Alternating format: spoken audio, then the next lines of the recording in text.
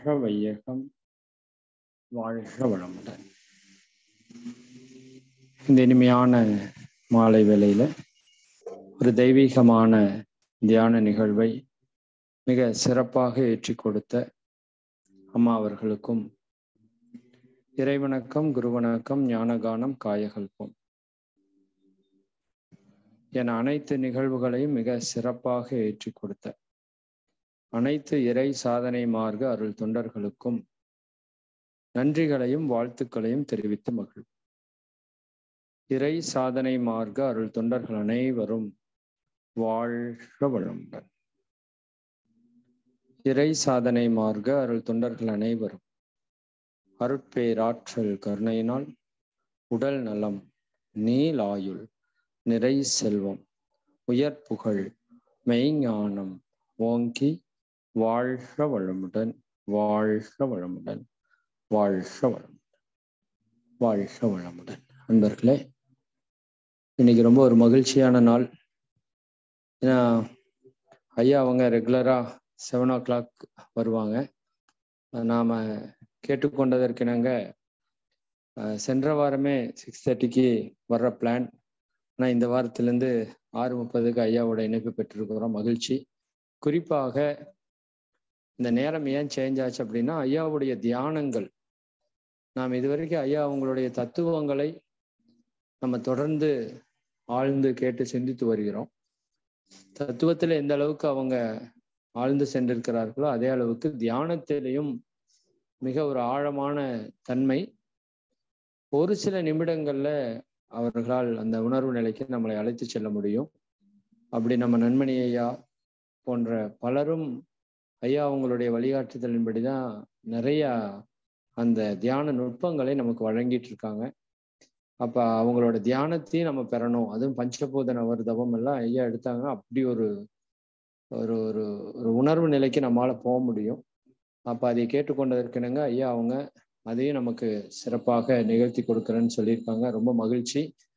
இந்த உரை உரை முடிஞ்சதுக்கு அப்புறம் தியானம் இருக்குன்னு நினைக்கிறேன். இல்லாட்டி ஐயா அவங்க எப்படி கொண்டு போறாங்களோ அந்த மாதிரி இந்த நிகழ்வை நம்ம ஏற்படுத்தி கொள்வோம். சிறப்பாக ஐயா அவர்களுடைய அந்த யோக வாழ்விற்கான சிந்தனையை தியானங்களை நாம் முழுமையாக கேட்டு உணர்ந்து ஆன்ம உயர்வு பெறுவோம் என்று கூறி ஐயா அவர்களை இந்த நிகழ்வை மிக சிறப்பாக நிகழ்த்தி கொடுக்குமாறு அன்போடு கேட்டுக்கொள்கிறோம் வாழ்க வளமுடன் வாழ்க வளமுடன்.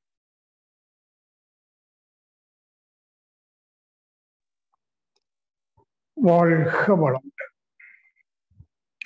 வாழ்க வையகம். வாழ்க வையகம் வாழ்க வளம் குருவே துணை. குருவின் திருவடி போற்றி. திருவடி சரணம். இருபால் மெய் உணவாளர்கள். அனைவருக்கும் இனிய மாலை வணக்கமும் நல் வாழ்த்துக்கள். அவங்க இறைமதன் அவர்கள் குறிப்பிட்டது போல இனி எல்லா வியாழக்கிழமையும் ஒரு ஒன்னேகால் மணி நேரம் ஒன்றரை மணி நேரம். முதல்ல சிறிது நேரம் ஒரு சிந்தனைக்கு உரை நிகழ்த்தி விட்டு பிறகு ஏதாவது ஒரு தவத்தில் ஆழ்ந்து போகலாம். அப்போ என்ன புரிஞ்சுக்கிறோம்? ஒரு பக்கம் விளக்கம் வேணும் இன்னொரு பக்கம் உணர்வு வேணும். இல்லையா? மொதல் theory class then practical experience அதே மாதிரி முதல்ல சில உரைகள். ஏதாவது அப்பப்போ இறைவன் இயற்கை என் அறிவுக்கு எதை கொடுக்குதோ அதை வாங்கி நான் உங்களுக்கு கொடுக்குறேன். அவங்க இறைமதன் அவர்கள் சில பல தலைப்புகளை திடீர் திடீர்னு போடுறார். தப்பு இல்லை நான் எனக்கு எப்படின்னு கேட்டீங்கன்னா நான் என்ன பேச போறேன் என்ன பேசணும் அப்படின்னு ஒரு கண்டிஷன் என் மைண்ட்ல கிடையாது. ஏன்னா உங்களில் பல நூற்றுக்கணக்கான அன்பர்கள் அமர்ந்திருக்கிறீங்க இன்றைக்கு. அடுத்த சில நாட்கள்ல யூடியூப் பார்த்தும் அமர்ந்து உண்டு. உங்க ஒவ்வொருவருடைய உள்ளத்துல எத்தனையோ தேவைகள் ஐயங்கள் இல்லையா? எல்லாம் இருக்கும். அதை நீங்க கேள்வியா கேட்கிறீங்களோ இல்லையோ இறைவன் அதற்கு பதில் தரதுக்கு தயாரா இருக்க ஃப்ராக்ஷன் டிமாண்ட்ஸ் டோட்டாலிட்டி சப்ளைஸ் ஃப்ராக்ஷன்னா தனி மனிதன். தனி மனிதனுக்கு ஒரு டிமாண்ட் இருக்கு தேவை இருக்கு. அது இந்த முழுமை என்கிற இறைவன் கொடுக்கறது. ஆனா கொடுப்பதற்கு ஒரு மீடியா வேணும். யாரோ ஒருத்தர் மூலமாகவோ ஒரு நிகழ்ச்சியின் மூலமாகத்தான் கொடுக்க முடியும்.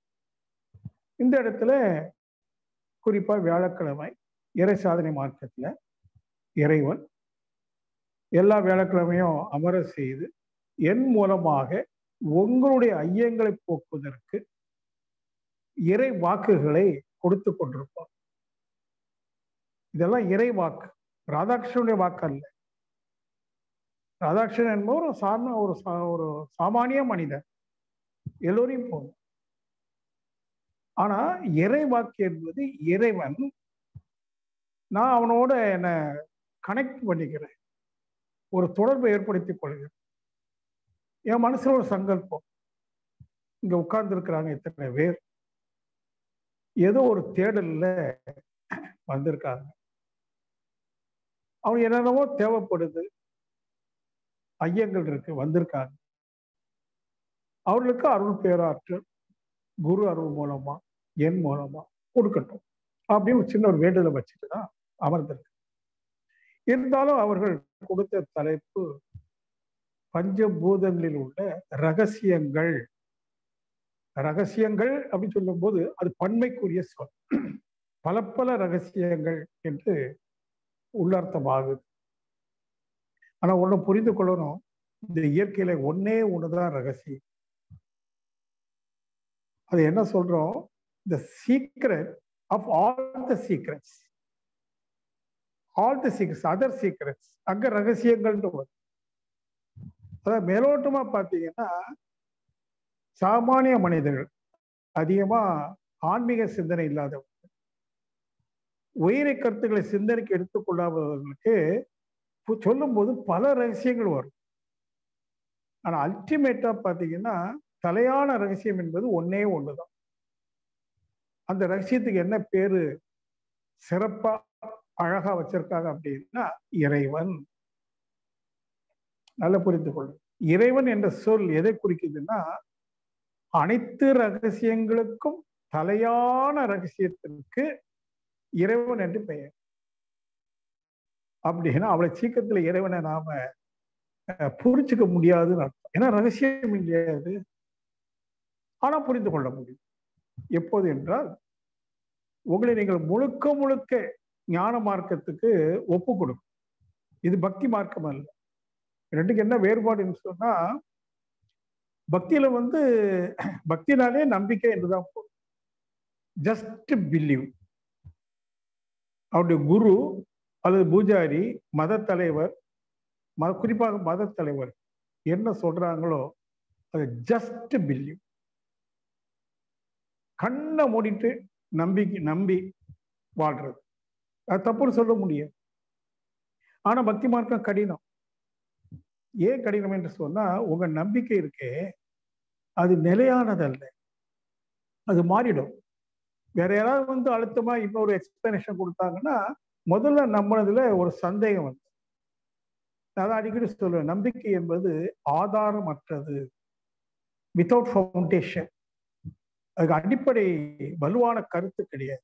அதான் நம்பிக்கை. ஆனா ஞான மார்க்கத்துல நம்பிக்கைக்கு இடம் கிடையாது. மாறாக சுயமாக சிந்தித்து நம்ம அறிவுக்கு சரின்னு பட்டா அதை எடுத்துக்கிறது. இல்லைன்னா விட்டுறது குரு சீடனுடைய சம்பாஷணே அப்படி. குரு எதையுமே நிர்பந்தம் செய்வதில்லை.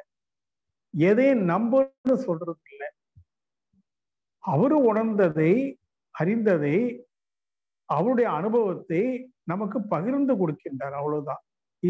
Just sharing his experience out of spiritual knowledge நாம அவர் சொன்ன மாதிரி ஒரு கருத்து சொல்றாரு இல்லையா? எல்லாம் அல்ல தெய்வம் அது. எங்கும் உலது நீக்கமாறு. இறைவன் என்பவன் சர்வ வல்லமை உடையவன் ஆல்மைட் ஆமனி பிரசன்ஸ் அவன் இல்லாத இடமே இல்லை எங்கும் நீக்கமாறு. எல்லாரும் சொல்றது ஆனா அவர் சொல்றாரு அப்படி சொல்றதுனால நீ நம்பாதப்பா. உனக்கு எப்படி தெரியும்? அவங்க சொல்றாங்க நீங்க புரிஞ்சு ஏத்துக்கிட்டீங்கன்னா அர்த்தம் இல்லை. நீ அதை உணரணும். சுயமா சிந்தித்து உணர்வும் வேணும். அந்த எல்லா வல்ல தெய்வம் எங்கும் நீக்கமாரு எங்கும். இந்த வெளியில மட்டும் இல்லை ஒரு பழத்துக்குள்ளேயும். ஒரு கல்லுக்குள்ளும். ஒரு நீருக்குள்ளும். ஒரு நாக பாம்பிற்குள்ளும் எல்லாவற்றுக்குள்ளும் அது இருக்கு. அகம் பிரம்மாஸ்மின்னு இருக்கு. இதை நீ முதல்ல புரியணும். அதுதான் விளக்கங்க அந்த விளக்கம் தான் கொஞ்சம் மேலோட்டமா நம்ம எடுத்துக்க போறோம். ஏன்னா ஆழமா போனா உங்களை எத்தனை பேருக்கு அது புரியும் சொல்ல முடியாது. ஏன்னா இந்த மாதிரி ஆன்மீக கருத்துக்களை வந்து படிப்படியா படிப்படியா தான் சொல்லி நீங்க புரிந்த பிறகுதான் அடுத்தது சொல்லணும். இல்லைன்னா உங்களுக்கே கேட்கறதுக்கு போர் அடிச்சிடும். என்னையா இந்த ஆளு இப்படிலாம் பேசிட்டு இருக்காரு? அப்போ சுயமாக சிந்தித்து குரு சொல்லக்கூடிய அந்த ரகசியமான விஷயங்களை முதல்ல புரியணும் சிந்தித்து புரியணும். நெக்ஸ்ட் புரிந்ததை உணரணும். கண்ண மூடி ஆமா எல்லையற்று நீக்கமர எங்கும் அந்த சக்தி நிரம்பி இருக்கிறத தவத்துல உணர்கிறேன். உணர்ந்து பெற வேண்டியது. அப்ப அந்த ரகசியம் பரம ரகசியம் உங்களுக்கு கைவல்யமாயிடும். அந்த தனி மனிதனுக்கு எந்த தனி மனிதன் விளங்கியும் சிந்தித்து விளங்கி பிறகு தவத்தின் மூலமாக உணர்ந்து அறிகின்றானோ அவனுக்கு அந்த ரகசியம் கைவல்யம் ஆயிடும் சிரமம் கிடையாது. எப்போ சிரமம்னு சொன்னா நான் அடிக்கடி சொல்லுவேனே உங்களுடைய தகுதியை நீங்க பெருக்கிக் கொள்ளாம நீ எவ்வளவு விளக்கம் கேட்டாலும் அது வீண். அதான் வள்ளுவர் சொல்றாரு கற்றதனால் ஆய பயனன்கொள் கல்விங்கிறது உயர்கல்வி ஸ்கூல்ல காலேஜ்ல படிக்கிற கல்வி மட்டும் இல்லை ஆன்மீக கல்வியும் விஷயம்ல எம்எஸ்சி படிக்கிறோம். ஏன்? டாக்டரேட் கூட வாங்கினவன் நிறைய பேர் இருக்கிறாங்க. கற்று பெற்ற அறிவு. என்ன பயன்னு கேட்குற எப்போ? எப்போ அது பயன் என்றால் பாலறிவன் பாலறிவுனா முழுமையான அறிவு டோட்டல் கான்சியஸ்னஸ் அதை உணரவில்லை என்றால். அந்த முழுமையான உணர்வு பெறவில்லை என்றால் நீ படித்த படிப்புனால பயன் இல்லை அது ஏட்டு சுரக்காய். ஏட்டுல சுரக்காய்ன்னு எழுதிட்டா பசி ஆறிடுமா? கடையில போய் சுரக்காய் வாங்கி அதை சமைச்சு உண்ணணும். அது மாதிரி என்னென்ன விளக்கம் கேட்குறீங்களோ அதை உணர்வுக்கு கொண்டு வரக்கூடிய அளவுக்கு நீங்க உங்களை ஒரு தியாக உணர்வோடு வைராக்கியத்தோடு உங்களுடைய புத்தியை வளர்த்து கொண்டு விவேக புத்தியாக ஆக்கி விவேக புத்தினா ஒரு கருத்தை சுயமா சிந்திக்கிறது அந்த அளவுக்கு ஒரு திறமையை நீங்க வளர்த்துக்கணும். இதெல்லாம் எதுக்குன்னு கேட்பீங்க அந்த ரகசியம்னு ஒண்ணு சொன்னாரு தலையான ரகசியம். அது உங்களுக்குள்ளதான் இருக்கு. எல்லாவற்றுக்குள்ள இருக்கு. ஆனா உங்களுக்குள்ள இருக்கு. அதை உணர்ந்து அறிஞ்சிட்டீங்கன்னா இன்னைக்கு உங்களுடைய இல்லற வாழ்க்கையில அல்லல் பண்றீங்க பாருங்க. அனைத்து அல்லல்களிலிருந்தும் விடுதலை கிடைச்சோம். அதுக்கு பிறகு துக்கங்கிறதுக்கு இடமே இல்லை. மாறாக நித்தியமும் ஆனந்தமா சுகமா இருக்கும். ஒவ்வொரு க்ஷணமும். நீ எந்த இடத்துல இருந்தாலும் எப்போ இருந்தாலும் சரி. அது உங்களை விட்டு விலகுவதில்லை. பைபிள்ல ஒரு டயலாக் இருக்கு. நான் உன்னை விட்டு விலகுவதில்லை. அந்த நான்கிறது என்ன தெரியுமா? அந்த சுகம். இறைவனது ஒரே தன்மை ஆனந்தம் சுகம். நான் உன்னை விட்டு விலகுவதில்லை. இறைவாக்கு என்ன சொல்லுது? அந்த ஆனந்தமா ஆனந்தத்தை உணர்ந்துட்டேன்னா அப்புறம் அது ஒன்றை விட்டு விலகாது. அது நித்தியமும் இருக்கும். நித்தியானந்தம். அப்போ இந்த பயிற்சி விளக்கம் எல்லாம் எதுக்குன்னு எனக்கு அடிக்கடி நினைவு கூறணும். இன்னைக்கு வாழ்க்கையில பல காரணங்களினால உடல்ல துன்பப்படுறோம் மனதில் துன்பப்படுறோம் மன சோர்வடையுது. எல்லாம் லைஃப்பை போர் போர் இன்னைக்கு கூட ஒரு அம்மா சொன்னாங்க நேற்று வாழ்க்கையில போர் அடிக்குது சார் எனக்கு ஐம்பது வயசு ஆச்சு. நான் பல விதமா வாழ்ந்து பார்த்துட்டேன். எல்லாமே போர் அடிக்கு. ஐம்பது வயசுலயே அவங்களுக்கு போர் அடிக்காது இன்னும் எவ்வளவு காலம் வாழ வேண்டியிருக்கு? அப்போ ஏதோ ஒண்ணு இருக்கு. இது அவங்களுக்கு மட்டும் இல்லை நம்முடைய விவேகானந்த சுவாமிகள் அமெரிக்கால சிகாகோவுக்கு போயிருந்தாங்க. அங்கே போய் அங்க ஒரு அருளுரை ஆன்மீக உரையெல்லாம் நிகழ்த்திய பிறகு அங்குள்ளவர்கள் கேட்கிறார் ஐயா உங்க பேச்சை கேட்கும் போது நீங்க ஒரு பெரிய அறிவாளின்னு தெரியுது ஞானின்னு தெரியுது. எங்களுக்கு வாக்கை வந்து ரொம்ப போர் அடிக்குது. ஏன்னா அமெரிக்காவில் அந்த காலத்திலேயே அவங்க இந்த உலகாயுத வாழ்க்கையில மெட்டீரியல் லைஃப்ல வந்து எக்ஸ்ட்ரீம் எண்டுக்கு போனவங்க. பலவிதமான அனுபவங்கள். சிற்றின்பங்கள்ல உச்சத்துக்கு போனோம் பெரிய பணக்கார நாள் அவங்க என்ன கேட்கறாங்கன்னா எல்லாம் அனுபவிச்சு பார்த்துட்டோம். எதுலையுமே நிறைவு வரல. திருப்தி வரல. லைஃப் வந்து டோட்டலி போ so our question is what is next அவங்க கேட்குறாங்க எங்களுடைய கேள்வி என்னவென்றால் அடுத்தது என்ன?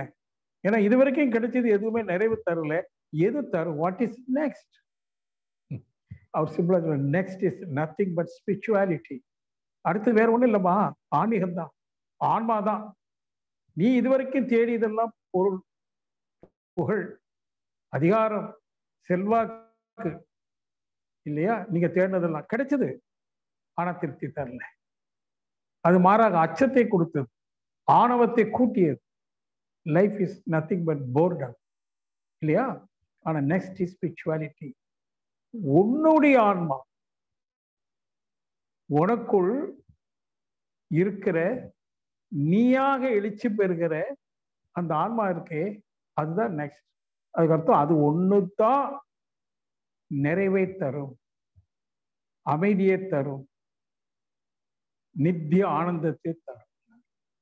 அப்ப கேட்கிறார் பழுபடி கேட்கிறார் அப்போ எனக்குள்ள இருக்கிற ஆன்மானா வாட் இஸ் ஆன்? ஆன்மானா என்ன? அதை நான் எப்படி உணர்வது? அதான் வேதாத்தின் மனுஷன் நம்ம சொல்லி கொடுத்துட்டு சரிங்களா? அப்ப இந்த பயிற்சி எதற்குன்னு கேட்டீங்கன்னா உங்களுக்குள்ள இருக்கிற நீயாக இருக்கிற அந்த ஆத்மாவை நீங்கள் உணர்ந்து இன்றைய தேதியில எந்தெந்த விஷயத்துல அல்லல் பட்டு கொண்டு துன்பப்பட்டு கொண்டு சோர்ந்து சங்கடப்பட்டு வாழ்க்கையை வேணுமான்னு கேட்கக்கூடிய அளவுக்கு ஒரு எல்லையில வந்திருக்கீங்களோ அதெல்லாம் மாறிடும். மாறிட்டு ஆன்மா உணரும் போது உங்களுக்கு தெரியும் இந்த வாழ்க்கை எவ்வளவு அர்த்தமுள்ள வாழ்க்கை. இந்த பிறப்பு நான் மனிதனா பிறந்திருக்கனே இது எவ்வளவு பெரிய கொடை வரம் என்று அன்றைக்கு தான் தெரியும். நமது பிறப்பு எவ்வளவு பெருமைக்குரியது. இந்த நான் என்பது எந்த அளவுக்கு நிகரற்றது என்றெல்லாம் நீங்க உணர முடியும். ஆனா அவ்வளவு எளிதான காரியம் எளிதுதான். எப்போ எளிது என்று சொன்னா உங்களுக்குள்ள அந்த அளவுக்கு ஒரு கடும் சித்தம் வரும். அது இருக்குதான் பாரு. ஏதோ மேலோட்டமா இப்போ இறைசாதன மார்க்கத்துல இத்தனை வருஷமா ஆயிரக்கணக்கான அன்பர்களை சேர்த்து தினசரி காலை முதல் மாலை வரைக்கும் ஏதாவது ஒரு கருத்து உங்களுக்கு கொடுத்துட்டே இருக்காங்க. நிறைய கொடுக்குறாங்க. நீங்க அதுல எதெல்லாம் வாங்கி வச்சு உங்களை மேன்மைப்படுத்திட்டீங்கன்னு ஒரு கேள்வி கேட்கணும். அன்னைக்கு கேட்பேன்? நான் நான் எனக்குள்ளேயும் கேட்டுக்கிறேன் இதெல்லாம் தெரிஞ்சு என்ன ஆகும்? நமக்கு என்ன மேன்மை கிடைச்சு கிடைச்சிருச்சா? அது மாதிரி நீங்க கேட்கணும். என்ன மேன்மை? திருப்பி சொல். ஆன்மா. நானாக எழுச்சி பெற்றிருக்கிற அடக்கமாக இருக்கிற அந்த ஜீவ ஆன்மா நான் உணரும் போது அது ஜீவான்மா அல்ல பரமான்மா. பரந்தாமன்னு சொல்றாங்க இல்லையா இறைவன். நான் யாருன்னா இறைவன் தான். இறைவனுடைய அம்சம் என்ன? ஆனந்தம் பேரானந்தம் நித்தியமம். அதுக்கு பிறப்பிறப்பு இல்லை. அது நித்தியமானது அழிவில்லை. அதான் என்னுடைய சொரூப நிலை அப்படின்னு உணர்ந்த பிறகு இந்த உலகத்துல துக்கம் தரக்கூடிய நிகழ்ச்சிகள் எவ்வளவு இருந்தாலும் அது துக்கம் தர துக்கம் தரும். நம்ம அதை துக்கமா எடுத்துக்க மாட்டோம். நம்மளை பாதிக்காது. அத்தகைய ஒரு விடுதலை ஒரு முக்தி நிலை ஒரு லிபரேஷன் கிடைக்கும். அப்போ அவர் கொடுத்த த- தலைப்பு வந்து மிக ஆழமானது. ரகசியத்தை எடுத்து சொல்லணும்னா அதை அது புரியக்கூடிய அளவுக்கு நமக்கு ஒரு தெளிவு இருக்கணுமா இல்லையா? கடினமா இருந்தாலும். ரொம்ப சிம்பிளா மேலோட்டமா சொல்ற. பஞ்சபூதங்கள் நிலம் நீர் நெருப்பு காற்று விண்ணெனும் ஆகாஷ். இதானே பஞ்சபூதங்கள். இப்ப ஐந்து பேர் கொடுக்கிறோம். நிலம் நீர்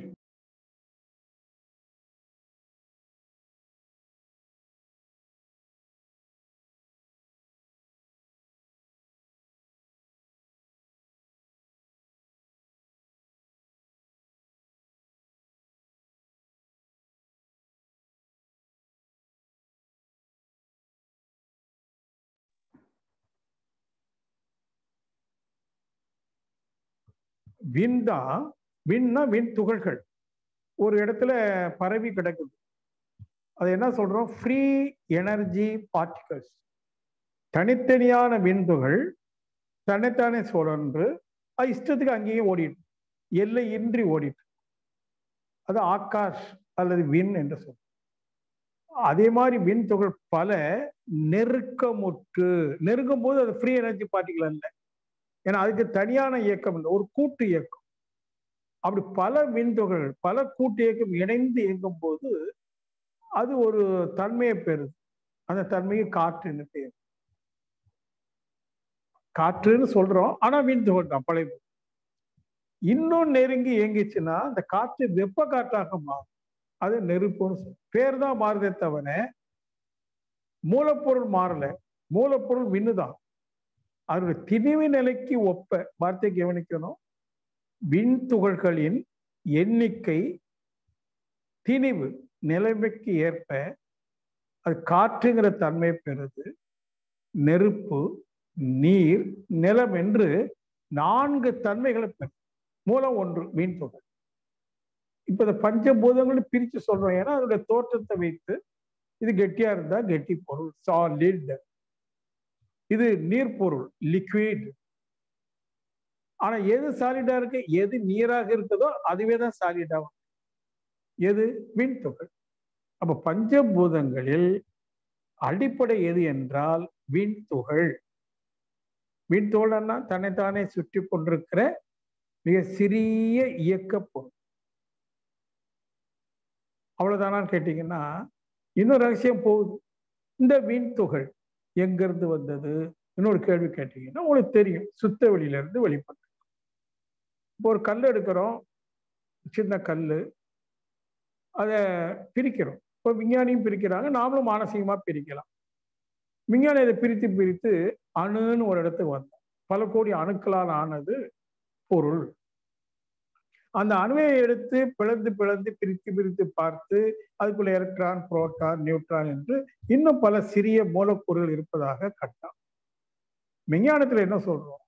அந்த சிறிய துகளையும் எடுத்து பிரித்து பிரித்து போனீங்கன்னா மேலும் மேலும் பிரித்து பிரித்து பிரித்து போனீங்கன்னா இறுதியாக மேற்கொண்டு பிரிக்க முடியாத ஒரு நுண் துகள் வரும். அது மேற்கொண்டு பிரிக்க முடியாது. அந்த நுண் துகளுக்கு தான் மெஞ்ஞானத்துல விண் துகள் அல்லது பரமானு பரம் என்றால் சிறிய சிறிய அணு என்று பெயர் அப்போ ஒரு கல் எதுவால் ஆனதுன்னா பல கோடி பரமாணுக்களின் திணிவு தொகுப்பு. சரி. இந்த பரமாணு எங்கிருந்து வந்தது அப்படின்னு பார்க்கும்போது இந்த கல்லுல பல கோடி பரமாணுக்கள் இருக்கு. தன்னைத்தானே சுரண்டு ஓடிட்டு அப்படி கற்பனை பண்ணீங்கன்னா அது தன்னைத்தானே சுழண்டு ஓடுவதற்கு என்ன வேணும்? இடம் வேணும். ஸ்பேஸ் ஸ்பேஸ் இருந்தாதான் ஒரு சக்தி துகள் சுழண்டு ஓட முடியும். அதுக்கு ஒரு இடம் வேணும் ஒரு வெளி வேணும். இப்போ ஒரு கல்லுக்குள்ள என்ன இருக்குன்னா பல கோடி பரமாணுக்களும் இருக்கின்றன. வெளி ஸ்பேஸும் இருக்கு. இப்போ பாருங்க கல் என்றால் ரெண்டு அம்சங்களோடு கூடியது. ஒரு அம்சம் பரமாணுக்கள் மற்றொரு அம்சம் வெளி ஸ்பேஸ் அப்போ மேல ஆராய்ச்சி பண்றோம். அப்படின்னா அந்த ரெண்டுல எது முதன்மையானது? அப்படின்னு கொஞ்சம் ஆராய்ச்சி பண்ணீங்கன்னா அந்த இடம் தான் இடம் இல்லாம ஒரு சக்தி வந்து நின்று சுழல முடியாது. ஆகவே முதன்மையானது இடம். அந்த முதன்மையான இடத்தில் இருந்துதான் இரண்டாவதாக வந்து உள்ள மின்துகள் வந்திருக்க முடியும். ஒரு லாஜிக்கா அப்ரோச் பண்ணும் ரெண்டு அம்சம் இருக்கு. அதுல முதன்மையானது இடம் ரெண்டாவது மின்துகள் பிந்தியது. அடுத்தால ஒரு கேள்வி கேட்டுக்கிறோம். முந்தியிலிருந்து பிந்தியது வருமா? பிந்தியிலிருந்து முந்தியது வருமா? அப்படின்னா முந்தியிலிருந்து தான் பிந்தியது வரும். முந்தியது எது? வெளி. அப்ப வெளியில இருந்துதான் மீன் துகள் வந்திருக்கு. அந்த மீன் துகளுடைய திணிவு நிலைக்கு ஏற்ப காற்று நெருப்பு நீர் நிலம் என்று மற்ற பௌதிக பிரிவுகள். அப்ப இந்த ஐந்துக்கும் மூலம் எது என்று சொன்னால் சுத்த வெளி. சுத்த வெளியில இடம் ஸ்பேஸ் அப்போ அதுல இருந்து பஞ்சபூதங்கள் வந்து இந்த பிரபஞ்சமே கோடான கோடி கோள்கள் வந்து பிறகு ஜீவ இனங்கள் வந்திருக்கு மனிதன் கூட்டம் வந்திருக்கு நான் வந்திருக்கிறேன். ஆனா வெளின்னு சொல்றீங்களே வெளியில ஒண்ணு இல்லையே. இங்கதான் ரகசியம் வருது. ஒரு ரகசியம் இருக்கு வெளியில. ஒரு அவசியமான ஏற்பாடு இல்லாம அந்த வெளி என்ற இடத்தில் இருந்து இடம் சொன்னா ஒண்ணு இல்லை ஒன்லி ஸ்பேஸ் சுத்த வெளி. அதிலிருந்து பஞ்சபூதங்கள் கோடான கோடி நட்சத்திரங்கள் எவ்வளவு பெருசு.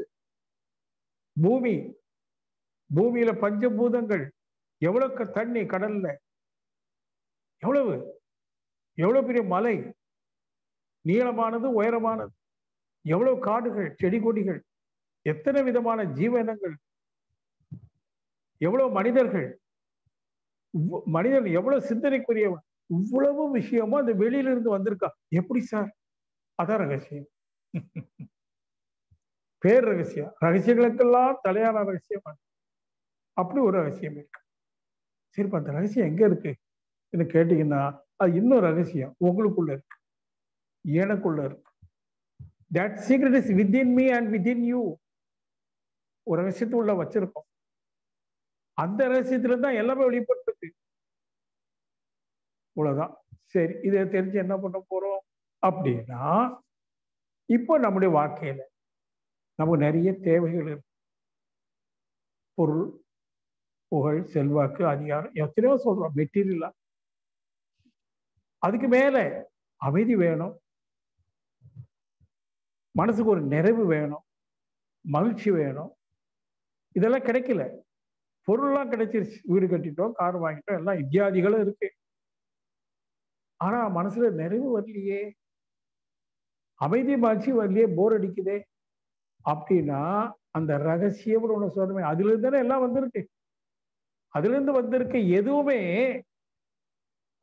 உனக்கு நிறைவை தரலன்னா ஒன்னிடம் ஏதோ ஒரு கோளாறு.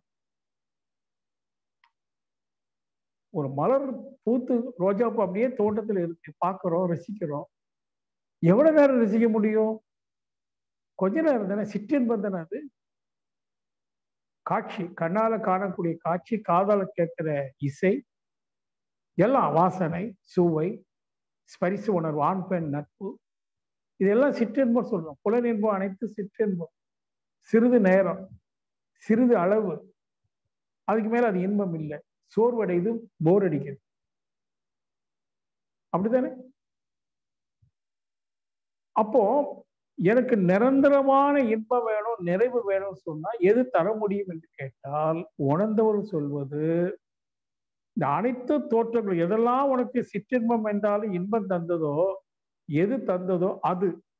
அந்த மூலத்தினை உணர்ந்து கொண்டால் அது பேரின்பமாக இருக்கும். அந்த ரகசியங்கிறது உனக்குரிய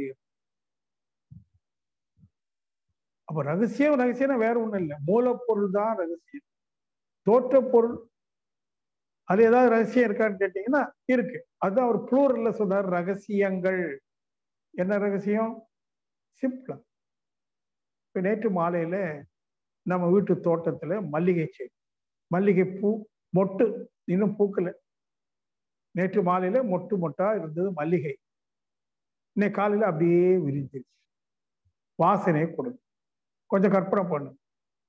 அந்த மொட்டு அதனுடைய இதழ்கள் நல்ல இறுகி குறுகி இருக்கு. கையால அது ஓப்பன் பண்ணணும்னு சொன்னா பிஞ்சு போயிடும். அந்த அளவுக்கு இறுக்கமா இருக்கு. இன்னைக்கு காலையில அந்த இதழ் லெகுவா அப்படி விரிஞ்சிருக்கு. இங்க என்ன ரகசியம்னா அந்த இறுகி இருக்கிற இதழை விரிப்பதற்கு எந்த அளவு சக்தி உள்ள அப்ளை ஆகணுமோ அந்த அளவுக்கு சக்தி அப்ளை ஆகும். அந்த சக்தி உள்ளே இருக்கு அது இன்ஹரண்ட் எனர்ஜி என்று ஆங்கிலத்துல சொல்லுவாங்க. உள்ளார்ந்த ஆற்றல் மென்மையா ஏன்னா இதழ் பார்த்தீங்களா? பிஞ்சிடும் எந்த அளவுக்கு அழுத்தம் கொடுத்தா பிய்யாம விரியும். அது இரவு முழுவதும் டைம் ஆகுது. டுவெல் ஹவர்ஸ் எடுத்து மெதுவாக கொடுத்து கொடுத்து கொடுத்து அப்படியே விரிய வைக்குது விரிந்ததும் வாசனையை பரப்பு அங்க ரெண்டு ஆக்ஷன் மலர்தல் விரிதல். இதழ் விரியுது மலருது வாசனை பறந்து போகுது விரிந்து போகுது அலையிலையா போகுது. தேர் ஆர் டூ ஆக்ஷன்ஸ் இதுதான் ரகசியம் சொல். எப்படி மலர்ந்தது எப்படி வாசனையை பரப்பு எப்படி? சீக்கிரம் புரிஞ்சுக்கலாம். இந்த ரகசியத்தை புரிஞ்சு எல்லாரும் ஸ்கூல்ல கூட சொல்லி கொடுத்துருவாங்க போயிடும். ஒரு மொட்டுங்கிறது அணுக்களின் கூட்டு அணுக்கள் சுழண்டு கொண்டு இருக்கு அந்த சுழல் வேகத்துல விரியுது. அதுக்குள்ள தன்மையை அதே சுழல் வேகத்துல விரிவு சக்தியா அனுப்புதுன்னு சொல்லி ஈஸியா புரிஞ்சிடும். ஈஸியா புரியக்கூடிய ரகசியம். இருந்தாலும் ரகசியம். பூமி சுத்துது. யார் சுத்தி விட்டா? இறைவன் சுத்தி விட்டானா? இல்ல. அப்படி ஒரு இறைவனே இல்லை. அதான் ஞானமா இருக்கும் இறைவன் என்றால் ஒரு தனி நபராக பாவிக்கிறோம் பக்தி மார்க்கத்துல. என்ன பக்தி மார்க்கம் என்ன சொல்லுது? இறைவன்னா ஒரு தனி நபர் மனிதனை போல தோற்றம். முருகன்னு பார்க்குறோம் மனித தோற்றம். இறைவனாக வணங்குறோம். ஆனால் அப்படி இல்லை. ஞான மார்க்கம் என்ன சொல்லுது? இறைவன் அல்ல இறை ஆற்றல் divine energy with consciousness with super conscious அப்படிதானா?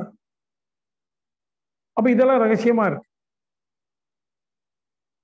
இவர் என்ன ரகசியம்? மொட்டு மலர்வதற்கு எந்த அளவுக்கு ஆற்றல் வேணுமோ அந்த அளவுக்கு ஆற்றலும் ஏன் மலரணும்? மாசினை கொடுக்கணும். அதை கொடுக்கக்கூடிய ஆற்றலும் அந்த மொட்டுக்குள் மிக இயல்பா அடக்கமா இருக்கு. இப்ப மொட்டு மலர்ந்துருச்சு வாசனையை கொடுத்துருச்சு. பலன் வந்து போச்சு. அது மாதிரி நம்முடைய வாழ்க்கையில மலர்ச்சி வேணும். மலர்ச்சினா மகிழ்ச்சி. மலரும் இந்த மனம் அப்படியே மலரும். வாசனையை கொடுக்கணும். என்ன வாசனை? அன்புங்கிற வாசனையை பரவ விடணும். இந்த இதயம் மலர்ந்து அன்பை பரப்பணும். பரவ விடணும். அதான் பயன்.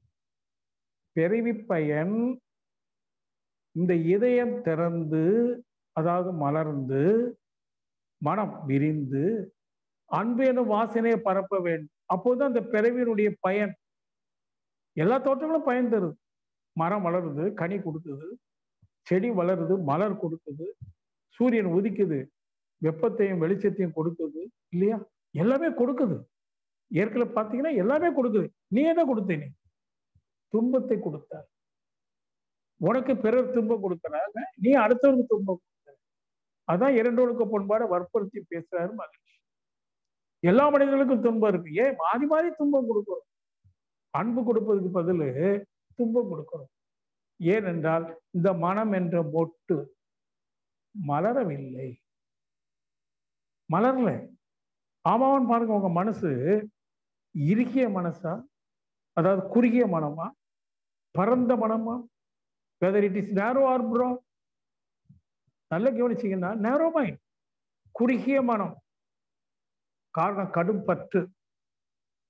இந்த லௌகிக வாழ்க்கையில் இருக்கக்கூடிய கடும் பற்றின் காரணமாக நம்ம மனசு எப்படி இருக்கு? குறுகி போயிருக்கு மலரல வள்ளுவர் சொல்றாரு மலர் மிசை ஏகினார் மானடி சேர்ந்தார் நிலமிசை நீடு வாழ்வார். மலர் கூப்பிடுறாரு. இறைநிலை உணர்ந்தவர்களை மலர் மிசை ஏகினா மலர்ந்துருச்சு. அறிவு புத்தி புத்தம். புத்தம்னா மலர்ச்சி புத்தம் சரணம் கச்சாமி. புத்தா ஹுட்னா என்ன? What is meaning Buddha hood mean what அந்த இதயம் இருக்கு இதய கமலம்னு சொல்லுவாங்க. கமலம் தாமரை மலர். வாசனையை கொடுக்குது அன்புங்கிற வாசனை. இப்ப அது உங்களுக்குள்ள நிகழணும். மாறி மாறி ஒவ்வொருத்தையும் அன்பு செலுத்தக்கூடிய பண்பு வரணும் மலரணும் என்று சொன்னால் எப்படி மலரும்? அது மலர்வதற்கு வேண்டிய ஆற்றலும் அறிவும் உங்களுக்குள்ள இருக்கு. அகம் பிரம்மாஸ்மி.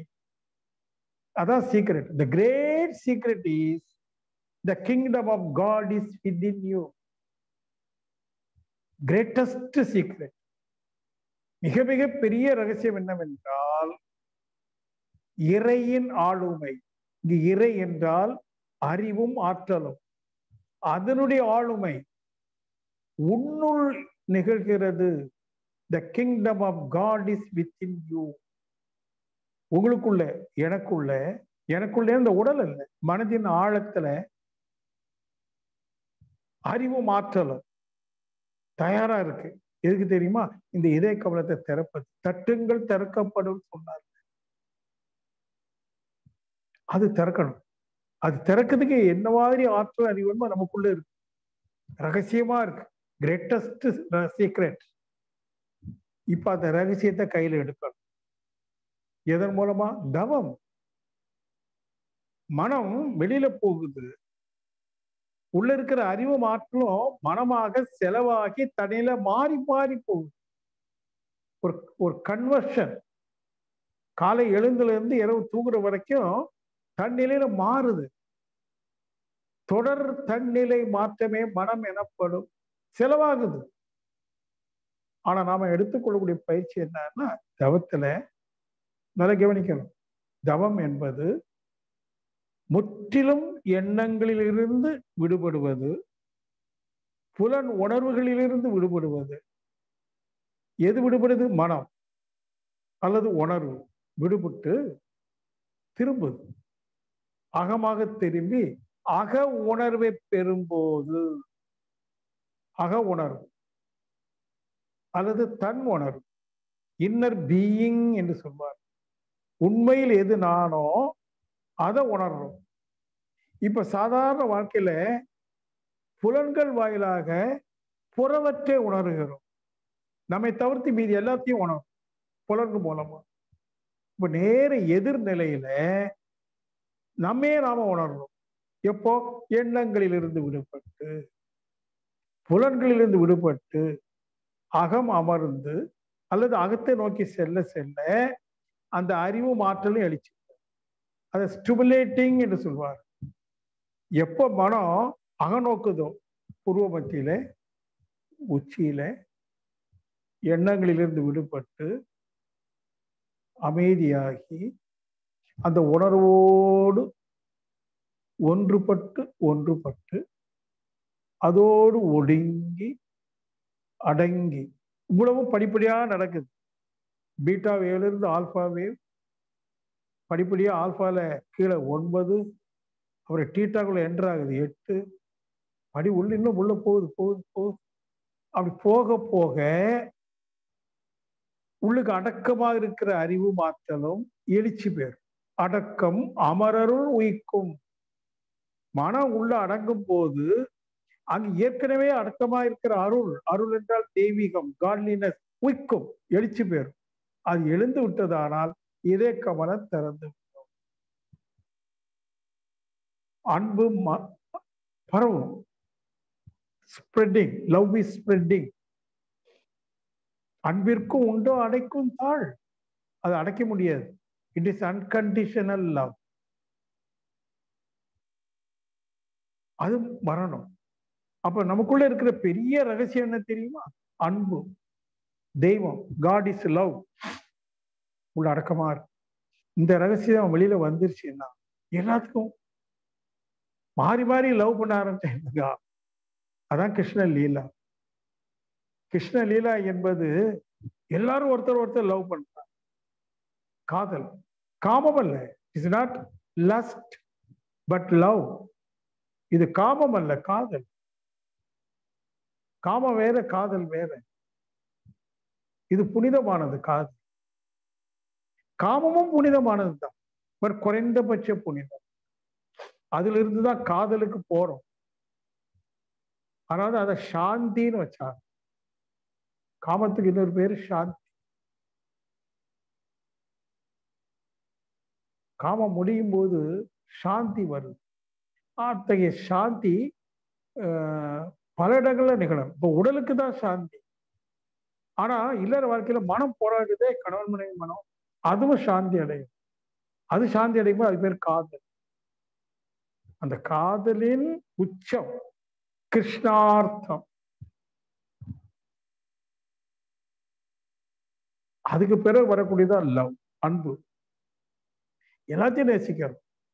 எல்லா ஜீவன்களையும் புழு பூச்சியை கூட. அவன் கண்ணுக்கு புழு புழுவா தெரியாது. நோ இட் இஸ் நாட் புழு. தெய்வீகம். அறிவும் ஆற்றலும் இதான் கிருஷ்ணன் சொல்றான். எப்பொருளிலும் என்னை காணவல்லான் எவனோ அவனில் நான் இருக்கிறேன். ஆக்சுவலா இன்னைக்கு இறைமதன் கொடுத்த ரகசியங்கிறது அது காந்த தத்துவம்லாம் சொல்லி கொடுக்க வேண்டிய ஒரு விளக்கம். ஆனா அத நான் சொல்ல தயாரில்லை இன்னைக்கு இந்த மேடையில ஒவ்வொன்றுக்குள்ள இருக்கக்கூடிய அந்த விஞ்ஞான ரீதியான ரகசியம் மகிழ்ச்சி வெளியிடல அதுக்கு ஒரு தனி ஒரு பிளாட்ஃபார்ம் வேணும். இது வந்து மேலோட்டமா இதனால என்ன கிடைக்கும் இந்த ரகசியத்தை தெரிஞ்சுக்கிறீங்க அப்படின்னா இந்த ரகசியம் உனக்குள்ள இருக்கு எனக்குள்ள இருக்கு. வேற ஒண்ணும் இல்லை பேராற்றலும் பேரறிவும். அடக்கமாக இருக்கு. அடக்கமா இருந்தாலே ரகசியத்துல பேர். ரகசியம்னா அடக்கமா இருக்கு. வெளியில யாருக்கும் தெரியாது. மனுஷன் சாதா மனுஷனுக்கும் தெரியாது. படித்த மேதாவிகளுக்கும் தெரியாது. ஏன்னா எல்லாருடைய மனசு எங்க போகுது? வெளியில போகுது. புறமன இயக்கம்னு சொல்றோம். அது பேரே புறமன இயக்கம். காலை கண்விழித்திலிருந்து இரவு தூங்குற வரைக்கும் இந்த மனமானது புலன்கள் வாயிலாக பலவற்றோடு தொடர்பு கொண்டு பல நபர்களோடு தொடர்பு கொண்டு பல செயல்களை செய்து வாழுது. அப்ப அந்த வாழ்வு எங்க நெகிழுதுன்னா புறத்தே நெகிழுது. அது நிச்சயமா வாழ்வாக இருக்க முடியாது. வாழ்வு என்பது அகத்தே நடக்கணும். ஆனா புறத்தே நடக்குது. புற வாழ்வு. அப்ப அகம் வாட் அபவுட் செல்ஃப் அப்ப வாழ்வு நிகழல. ஏதோ ஒரு மேஜிக் ஒரு மாயா நடந்துட்டு இருக்கு வெளியில. கோடி கோடி சம்பாதிக்கிறான். அடிச்சுக்கிறான் திருடிக்கிறான் என்னெல்லாமோ பண்ணிட்டு இருக்கிறான். இந்த உலகம் போற போக்கு என்ன? மாயை தானே? அது வாழ்வே அல்ல. அப்படி ஒரு உண்மையை புரியுதுக்கு கொஞ்சம் ஸ்டெப் எடுக்கணும். வாழ்வு என்பது உள்ள நிகழணும். அக உணர்வு. புற உணர்வு என்பது வாழ்வல்ல மரணம். இட்ஸ் எ கிராஜுவல் டெத் இந்த ஆன்மா அல்லது உயிர் ஜீவகாந்தம் புலன் வழி தன்னிலை மாற்றம் அடைந்து செலவாகி உணர்வாகுது. செலவாகி செலவுனா அழிவு உயிர் சக்தியினுடைய அழிவு உயிர் சக்தியுடைய மரணம் வாழ்வாகுது. ஒரு முரண்பாடு. உயிர் சக்தியுடைய செலவை வாழ்வு என்று கருதுகிறோம். நல்ல கேவினி வாட் இஸ் மாயா ஜீவகாந்த சக்தி உயிர் சக்தியினுடைய செலவும் தன்னிலை மாற்றமும் மனம் எனப்படும். அந்த மனம் தானே வாழுது? எண்ணங்கள் தானே வாழுது? அப்ப எண்ணங்கள் வாழுதுன்னா எண்ணங்கள் என்றால் என்ன? தன்மாற்றம் செலவு. செலவுனா அழிவு மரணம். மரணத்தை வாழ்வு என்று கருதுகிற அறிவை என்ன அறிவு நான் சொல்றோம் சொல்லட்டும். இது மாதிரி டீப்பா சிந்திக்கிறதுக்கு நம்ம எப்படி கூடணும்? ஞானிகள் அப்பெல்லாம் அந்த காலத்துல கூடவே உட்கார்ந்து இந்த குழந்தைகளுக்கு ஸ்பூன் ஃபீடிங் கொடுப்பாங்க இல்லையா? சங்குல பால் வச்சு கொஞ்சம் கொஞ்சமா ஊத்துவாங்க. கபக்குன்னு ஊத்துனா அது புறை ஏறிடும். மெதுவா ஏற்றி நெஞ்சை தடை விட்டு விட்டு அப்படியே ஸ்பூன் ஃபீடிங் அந்த மாதிரி ஞானம் கொடுக்கறது வந்து கொட்ட முடியாது. ஸ்பூன் ஃபீடிங் தான் பண்ணணும். அவ்வளவு பெரிய சமாச்சாரம்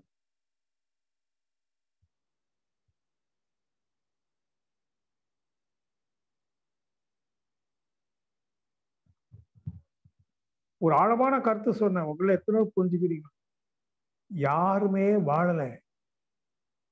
சார் அப்ப என்ன நடக்கு எல்லாரும் இறந்து கொண்டே இருக்கிறார்கள். இட் இஸ் கிராஜுவல் டெத் மெது மெதுவா இறந்து ஒரு நாள் முழுமையாக இறந்து விடுகிறார். ஏன்னா உயிர் சக்தி செலவாகிட்டே இருக்கு. உயிர் சக்தி தன்னிலையில் மாறிக்கிட்டே இருக்கு. அது வாழ்வு என்று கருதுகிறான் அது வாழ்வல்ல உயிர் சக்தி செலவாகலாம் தப்பு இல்லை ஆனால் உயிர் சக்தி செலவாகாம தன்னிலை மாறாம ஒரு ஐந்து நிமிடம் அதை உணர முடிந்தால் வாழ்வின் ரகசியம் புரியும். The secret of the life the secret of the existence எப்போ கண்டிஷன் என்ன? ஒரு ஐந்து நிமிடமாவது ஜீவகாந்தம் புலன்வழி புறம் செல்லாது. எண்ணங்களாக மாறாது. கவனிச்சிங்களா? முழு அடக்கம். எண்ணங்கள் இல்லை. புலன்கள் எல்லாம் விடுபட்டு போச்சு. காது கேட்கல. டிவி ஓடுது. காது கேட்கல. புலன் உணர்வுகள் இல்லை. எண்ணங்கள் இல்லை. அடக்கம். அப்ப என்னாகும்? ஜீவகாந்தம் செலவாகலை. தன்னிலையில மாறல. ஜீவகாந்தம் ஜீவகாந்தமாகவே இருக்கு. அப்படி இருக்கும்போது ஒரு உணர்வு தன் உணர்வு அனுபவம் தன் அனுபவம். அந்த உணர்வு அனுபவம் அறிவுக்கு ஒரு தெளிவை கொடுக்கும். What is reality what is real life வாழ்வுனா என்ன? வாழ்வின் அர்த்தம் அங்கதான் புரியுது. அது புரிஞ்சுட்டு பழையபடி புறப்படத்துக்கு வர்றோம். ஆனா பழையபடி கண்ணால பாக்குறோம் எல்லாம் கேட்கிறோம். முதல்ல பார்க்கும்போது எவ்வளவு உயிர் சக்தி செலவாச்சோ அவ்வளவு செலவாக ஏன்னா வித்தவுட் அர்ஜ் எந்த ஒரு அர்ஜ் இல்லாம வெறித்தனம் இல்லாம பார்க்கறான் ஒரு அழகை ரசிக்கிறான். இந்த உணர்வு வர்றதுக்கு முன்னாடி ஒரு அழகை ரசிச்சதுக்கும் இந்த உணர்வு வந்த பிறகு ரசிக்கிறதுக்கும் வித்தியாசம் இந்த ரசனைக்கு பேரு விஷன்.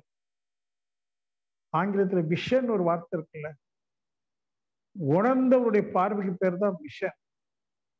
இங்க உணர்றதுக்கு முன்னாடி விஷன் ஒரு பேரை வச்சு. இறைமந்தான் ரொம்ப நாள் அதில் இருந்த it is not vision vision வந்து கண்ணால பார்ப்பது அல்ல.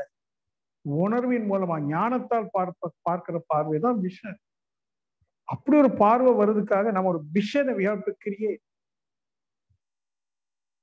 நோக்கம் மிஷன் எதுக்கு? அந்த விஷன் ஒரு ஸ்பிரிச்சுவல் ஐசைட் அது நெற்றிக்கனால தான் பார்க்கும் இப்படிலாம் சரி வேண்டாம். நிறுத்திக்கிறேன். இந்த மாதிரி ரகசியம் இருக்கு. உங்களை எத்தனை பேருக்கு விருப்பம் இருக்கு போத இந்த ரகசியத்தை அறியதுக்கு உங்களை எத்தனை பேருக்கு விருப்பம் இருக்கு? எத்தனை பேருக்கு கடும் சித்தம் இருக்கு? ஏன்னா நிறைய தியாகங்கள் பண்ணணும். கொஞ்சம் கொஞ்சமா இந்த கற்பனை உலகத்தில் இருந்து இது மாயை என்று புரிந்து கொண்டு இது கால நீர் தாகத்துக்கு பயன் தராது என்று நன்றாக புரிந்து கொண்டு மெதுவா கலந்துட்டு வரணும். குடும்பத்தை விட்டு அல்ல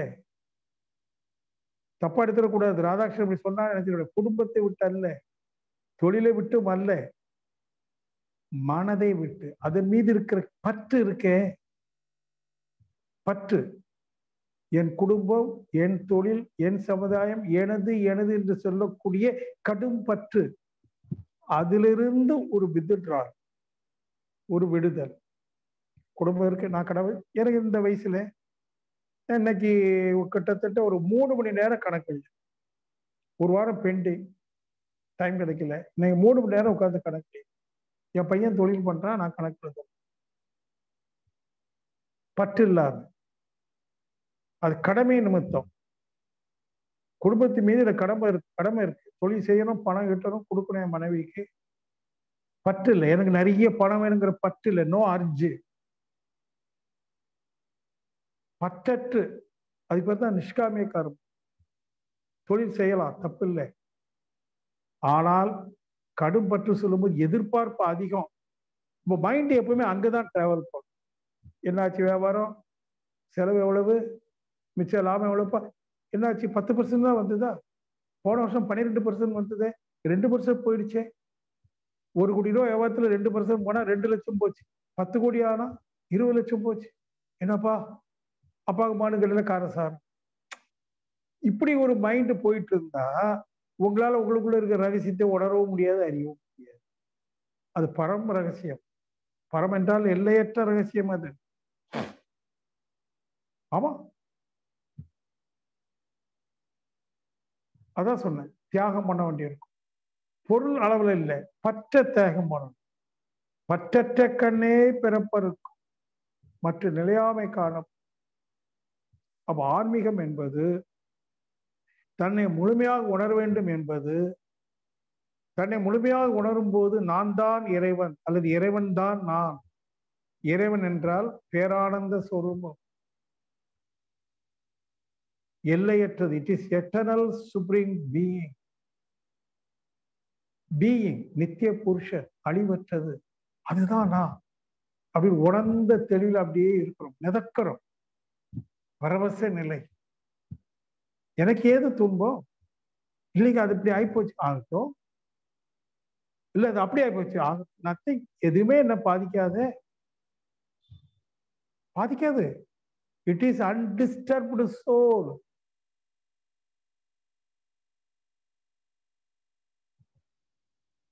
எப்போ? அந்த இடத்துக்கு நீங்க அந்த மையத்தை நோக்கி நீங்க நகரணுமானால் நீங்க எவ்வளவு முயற்சி எடுக்க வேண்டியிருக்கு ஒத்துழைக்க வேண்டியிருக்கு குரு மகானோட? அவங்க எல்லாமே அனுபவம் பண்ணி ஒரு அழகா ஒரு வால்யூம் மனவளக்கலைன்னு ஒரு வால்யூமை கொடுத்துட்டு அவரு போயிட்டார். ஆனா அழகா கொடுத்து வச்சிருக்கு இப்ப நாம அதை சிந்திக்கிறோம். அவர் கொடுத்துட்டு அவரு போயிட்டாலும் என்ன மாதிரி நிறைய பேராசிரியர் மூலமா கொடுத்துட்டு இருக்காரு. அழகரையா கொடுக்காங்க இறை சாதனையில. நன்மணி ஐயா கொடுக்குறாரு மதர் கொடுக்குறாரு. என் பங்கு ஏதோ கொஞ்சம் கொடுக்குறோம். நீங்க வாங்குனீங்களாங்கிறதா கொஸ்டின் கொடுக்கறது பெருசு இல்லை. வா. அப்போ இதுக்கு இது வந்து அவங்க கொடுத்த தலைப்பு வந்து இயற்கை தத்துவத்தை அடிப்படையாக கொண்டது. இந்த இயற்கை தத்துவத்தை எல்லாம் ஆன்லைன்ல கொடுக்கலாம் தப்பு இல்லை ஆனால் நான் திருப்பி திருப்பி சொல்லுவேன் ஒரு மூன்று நாள் ஐந்து நாள் ஒரு இடத்துல இருக்கும் இமயமலைக்கு போறோம் அக்டோபர்ல. ரிஷிகேஷ் போறோம். ஃபைவ் டேஸ் ப்ரோக்ராம் காலையில ஐந்து மணிக்கு எழுப்பி விட்டுருவோம். ஐந்து மணிக்கு எழுப்பி விட்றதில்ல. நாலு மணிக்கு எந்திரிச்சாகணும் அஞ்சு மணிக்கு கங்கை கரு ஓரத்தில் உட்காரு காற்று குளிர்ந்த காற்று அடிக்கும். காலை ஐந்து மணி பிரம்ம முகூர்த்தத்துல கங்கை கரையில இமயமலை அடிவாரத்துல கொஞ்சம் கற்பனை பண்ணு. ஹிமாச்சல் என்பது ரிஷிகள் வாழ்ந்த புண்ணிய பூமி. குறிப்பா ரிஷி கேஷ் ரிஷி வாழ்ந்த பூமி. கங்கை நீர் என்பது புனித நீர். ஏன் புனித நீர்னா பாக்டீரியாஸ் உருவாகல. அப்போதைக்கு பனி உருகி ஓடி வருது. அன்பொலிட்டட் கிருமி உற்பத்தி ஆகாத நீர். கிடையாது அந்த நீர் கிடையாது அந்த நீரில் நீராடி அந்த நீருக்கு அருகாமையில் அமர்ந்து இமயமலை அழுவார் அமர்ந்து மனதை இயற்கையோட டியூன் பண்ணி டியூன் பண்ணி அந்த பேராதார சக்தியோடு இணைத்து தவம் பண்ண போறோம். ஒரு ஒன் ஹவர் மார்னிங் அதுக்கு பிறகு எழுந்து டீ குடிச்சிட்டு பழைய பஞ்சமரம் தவம் அந்த தவம் இந்த தவம். ஆற்றல் எந்த அளவுக்கு எடுக்க முடியுமோ எடுக்கக்கூடிய கிட்டத்தட்ட பன்னிரெண்டு ஆண்டுக்கு மேலாக போயிட்டு இருக்கு ரெண்டாயிரத்தி பதினொன்றாம் ஆண்டு அக்டோபர்ல இருந்து. இடையில கொரோனா பீரியட்ல மட்டும் ரெண்டு வருஷம் போகும். உங்கள வசதியும் வாய்ப்பு உள்ளவங்க தவற விடாது கரெக்ட் இதெல்லாம் எதுக்கு சொல்ல வரேன்னா நோக்கம் ஒன்று இருக்கணும். ஒரே ஒரு நோக்கம் ரியலைசேஷன் ஆஃப் செல் ஒரே ஒரு நோக்கம். என்னை நான் உணர வேண்டும் என்கிற நோக்கத்தை நீங்க மனசுல பதிய வச்சுட்டு இந்த நோக்கம் நிறைவேறுவதற்கு இடையூறாக இருப்பதை அப்புறப்படுத்துதல். அதான் யோகா. ஒரு சிற்பி ஒரு சிலையை உருவாக்குறான்னு சொல்றோம். ஆனா வேற மாதிரி சொல்லும்போது என்ன சொல்லுவாங்கன்னா அந்த பாறை பாறையை பார்க்கறான் சிற்பி. அவன் என்ன சிற்பம் உருவாக்கணும்னு நினைக்கிறானோ அதை பார்க்கறான். ஒரு மங்கை நடனமாடி கொண்டிருப்பதாக பாவனை செய்யறான். அந்த பாறைக்குள்ள நுணுகி பார்க்கறான். ஒரு மங்கை நடனமாடி கொண்டிருக்கிறார் ஆனால் அந்த நடனத்தை மறைத்து கொண்டு வேண்டாத சில பகுதிகள் இருக்கிறத பார்க்கிறான். அந்த பகுதியை நீக்கிறான். அங்க அழகான மங்கை இருக்கிறான். அதுபோல நமக்குள்ள இறைவன் இருக்கிறான். அவனை மறைத்து கொண்டு சில வேண்டாத பகுதிகள் இருக்கின்றன. அதை நீக்குவதுதான் யோகா. ஆக்குவதல்ல நீக்குவது. நீக்குவதை நீக்கிட்டால் ஆக்க வேண்டியது ஏற்கனவே ஆகியிருப்பதை நீ அறிவாய். அது ஏற்கனவே இருக்கு. It is inherently within you இதாங்க ரகசியம் இத்தனை போதும். இப்ப கொஞ்சம் தவம் பண்ண போறோம். கண்ணை மூடிக்கொள்ளுங்க. கொஞ்சம் டியூன் பண்ணுங்க உங்களை. நான் என்னெல்லாமோ சொன்னேனே. அதை பற்றி ஒரு ரெண்டு நிமிடம். உங்களுக்கு எந்த அளவுக்கு மன ஓட்டம் போகுமோ போகட்டும். ஒரு ரெண்டு நிமிடம் கண்ணை மூடி. நான் சொன்ன கருத்துக்களை மையமாக வச்சு ஒரு மன ஓட்டம் ஓடட்டும்.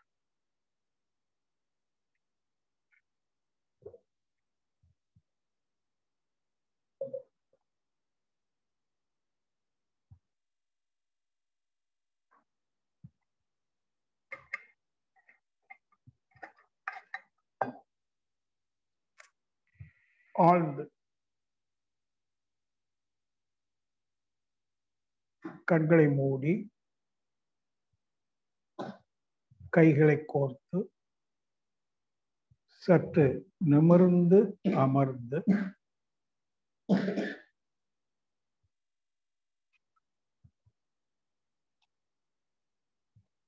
எண்ணங்களிலிருந்து மனதை விடுவித்துக் கொண்டு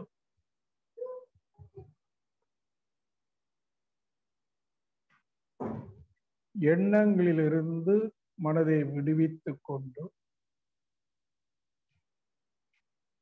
உடலையே கவனித்து. ஏன்னா உடலை வைத்து தானே நம்ம உணர்றோம். ஆகவே உடலையே கவனித்துக் கொண்டிருக்கோம்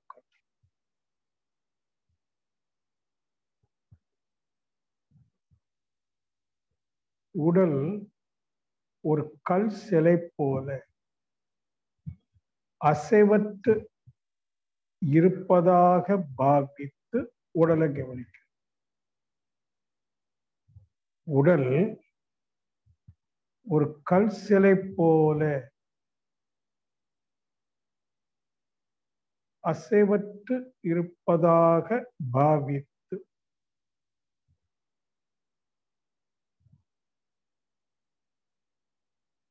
உடலையே கவனித்து உடலின் அசைவற்ற தன்மையை உணர்வாக்கி உணர்வாக்கல். மனமும் அசைவற்று நிலை பெற்று ஆழ்ந்த அமைதியில் மனம் நிலை பெற்று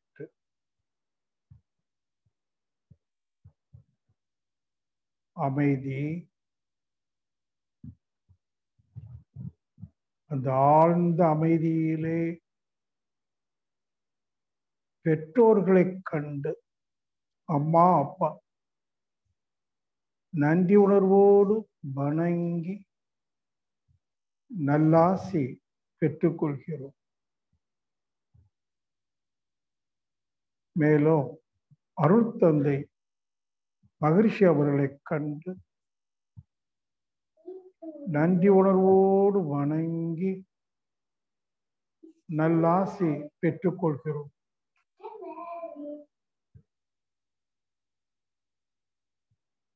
அமைதி.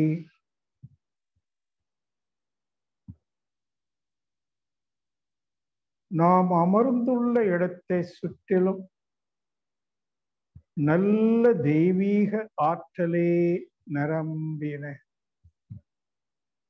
மனதை விரித்து அமர்ந்திருக்கிற இல்லம் முழுமையும் மனதை விரித்து. நாம் அமர்ந்துள்ள இல்லம் முழுமையும் நல்ல தெய்வீக ஆற்றலே நரம்பின. நாம் அமர்ந்துள்ள இல்லம் முழுமையும் நல்ல தெய்வீக ஆற்றலே நிரம்பின.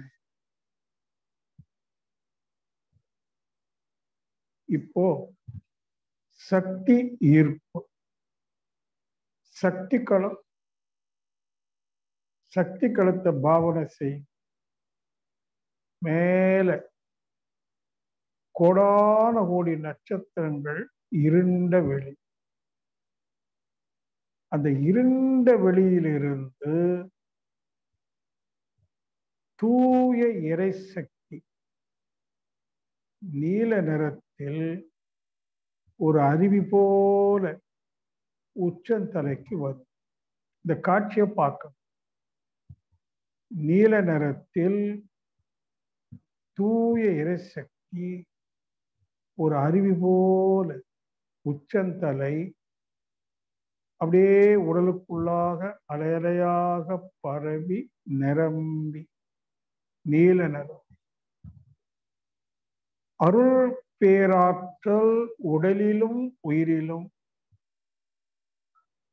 அலையலையாக பாய்ந்து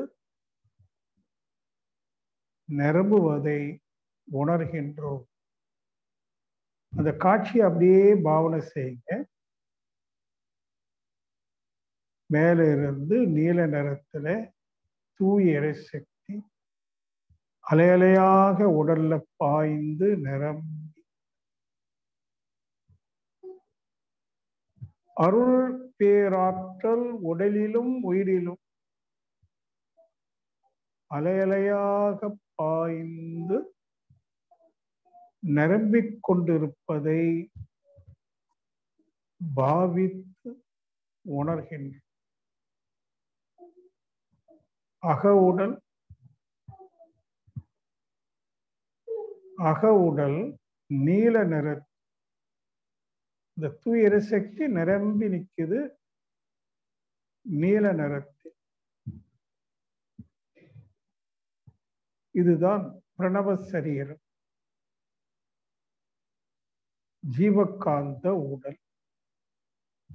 இந்த ஜீவகாந்த களத்திலே அருள் பேராற்றல் எனும் வான்காந்த பேராற்றல் கலந்து நிரம்பி நிற்கிறது.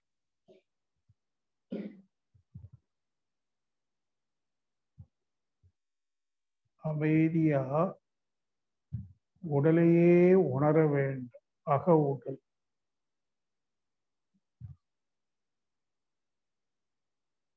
மெதுவாக மூச்சையும் கவனிங்க.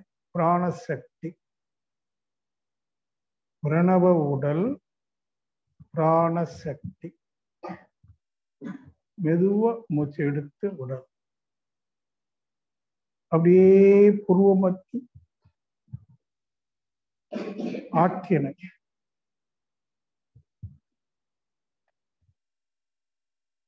மகாசக்தி குண்டலினி.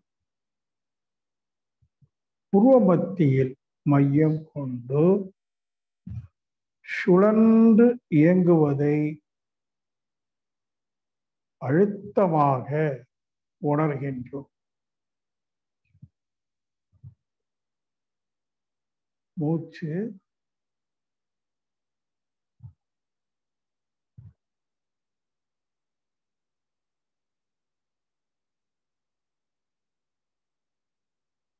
சுழல் அழுத்தம்.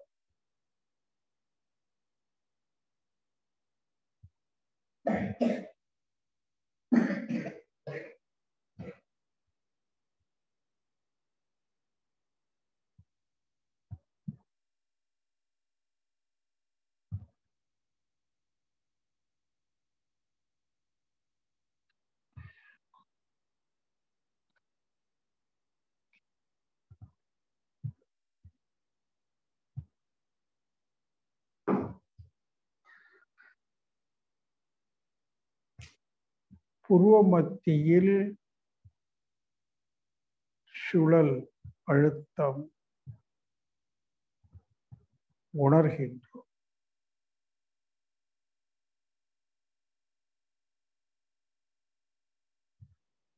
அந்த உணர்வோடு ஒன்றி கலந்து லயமாகி தவம்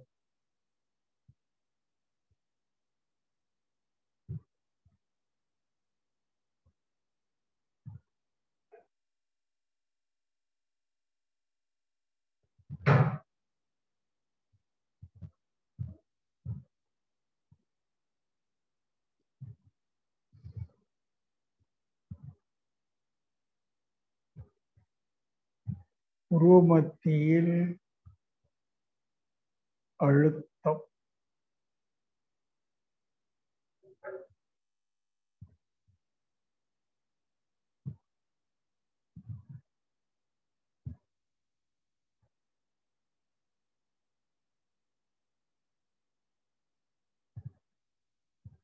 அழுத்தம்.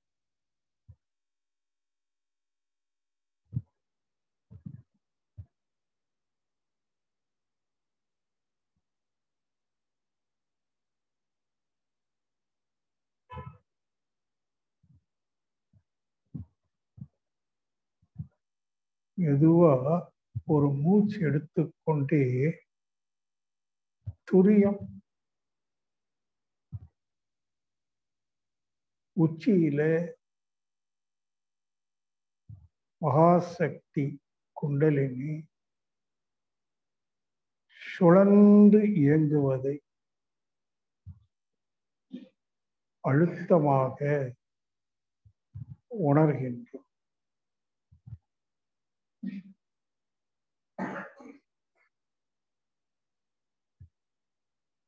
சுழற்சி அழுத்தம்.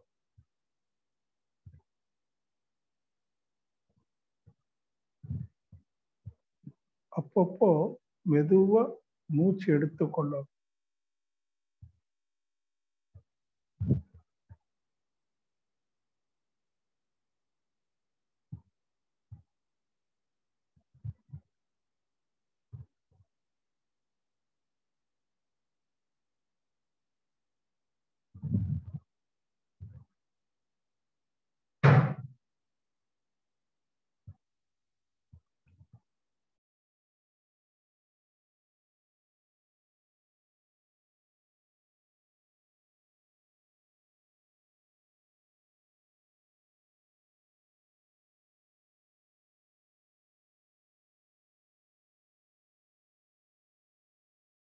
வெளி கோள வடிவில்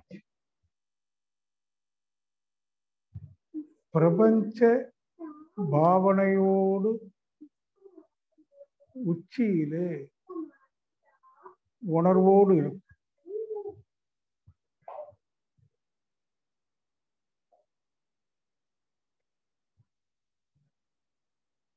சக்திகளை நினைவோடு துரிய நிலை உணர்வு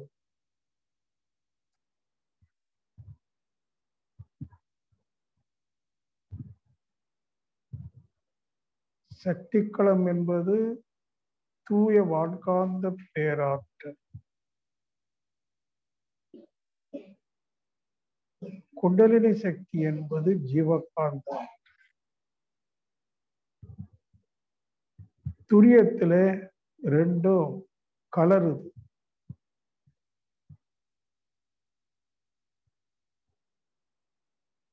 குண்டலினி சக்தி உச்சியில சுழன்று இயங்குது. மையத்துல ஒரு குழி பள்ளம் உருவாகுது. பிரபஞ்ச சக்தி ஈர்க்கப்பட்டு அந்த பள்ளத்துல வந்து விழுது இதை புரிந்து பாவிக்கிறது சுழற்சி இருக்கும்போது மையத்துல சுழற்சியற்ற பகுதி. அதான் வெளி. வெளிக்கு ஈர்ப்பு சக்தி அதிகம். ஆகினால பிரபஞ்ச சக்தியை ஈர்த்து கொள்ளும். இந்த புரிதலோடு பாவனையோடு துரியதம். சக்திக்கள நினைவோடு துரிய நிலை உணர்வு.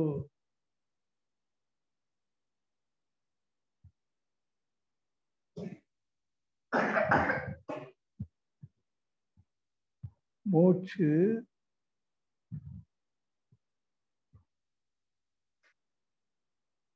சக்தி குளம் வரைக்கும் மூச்சு போகட்டும். விடும்போது துரியம் வரட்டும்.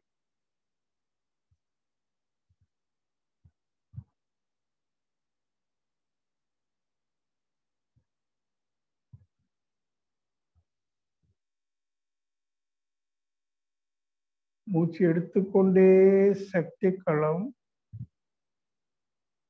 மூச்சை விட்டுக்கொண்டே துரியம்.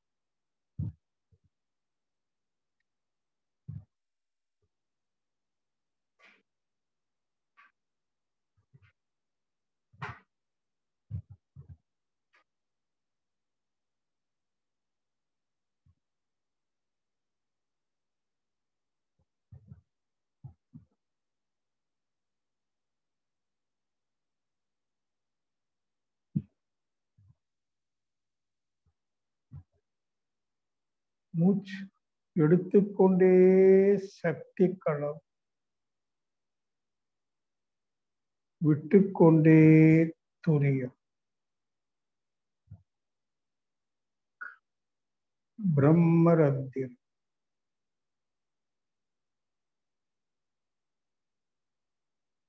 ஜீவ ஆன்மாவும் பரமான்மாவும்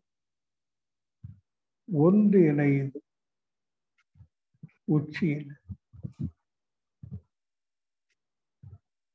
ஜீவ பிரம்ம ஐக்கிய முக்தி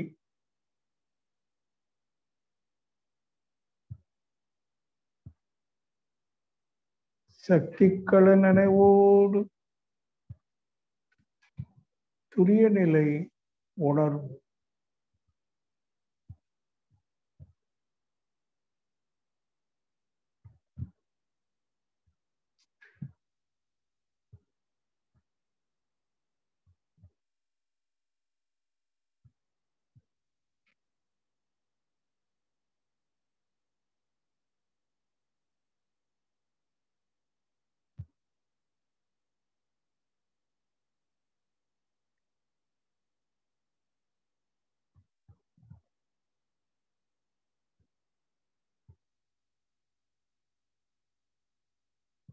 பிரபஞ்சம் முழுமையும் நிரம்பியிருக்கிற தூய இறைசக்தியே உடல் முழுவதும் நிரம்பி உச்சியில் ஒடுங்கி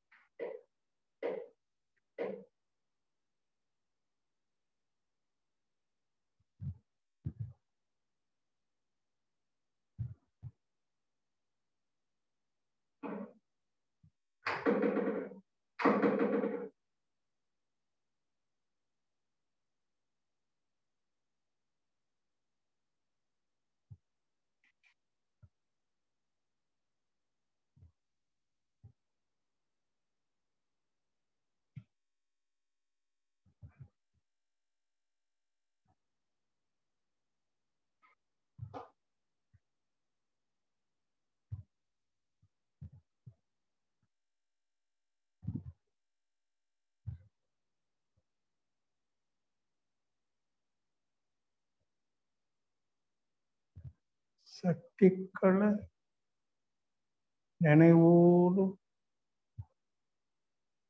துரிய நிலை உணரும்.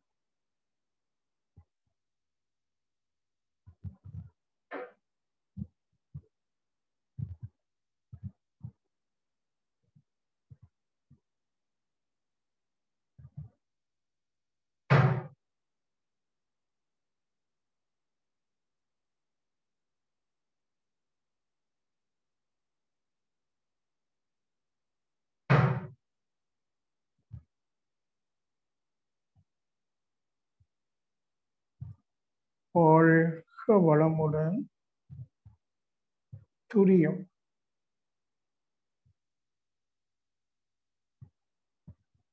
தவாற்றலை உடல் முழுவதும் பரப்பிக் கொண்டு மீண்டும் உடலையே கவனித்து தவாற்றல் உடல் முழுவதும் பரவிக் கொண்டிருப்பதை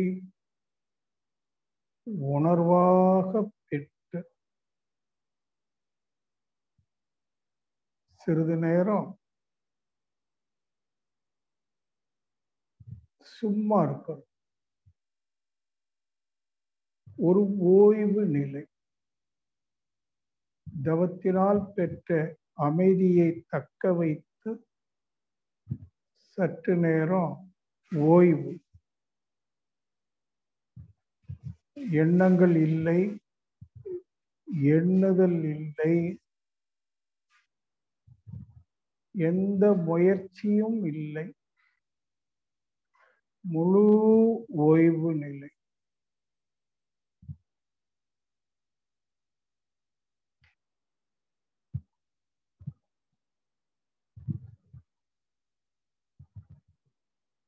முழு ஓய்வு நிலை.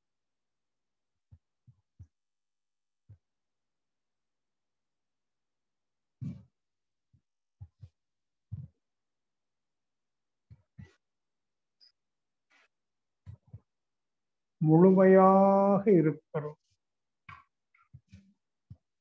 எந்த முயற்சியும் இன்றி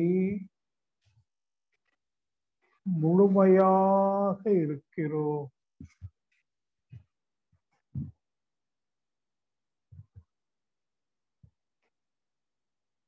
இதுதான் மெய்ப்பொருள் நிலை.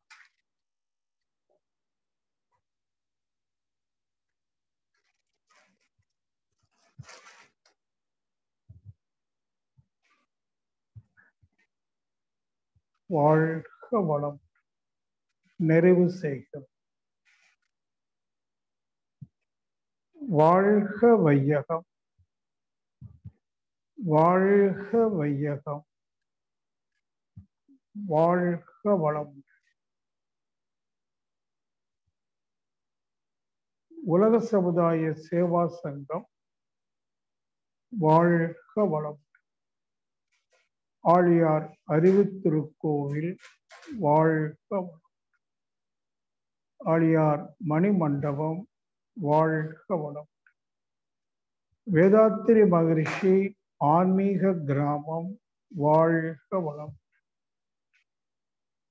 வாழ்க வளமுடன் நீங்களும் உங்கள் அன்பு குடும்பம். வாழ்வில் எல்லா வளங்களும் பெற்று பல்லாண்டு பல்லாண்டு இனிதே வாழ்க. வாழ்க வாழ்க. வாழ்க வளம். ஓ சாந்தி. சாந்தி. சாந்தி. ரிலாக்ஸ்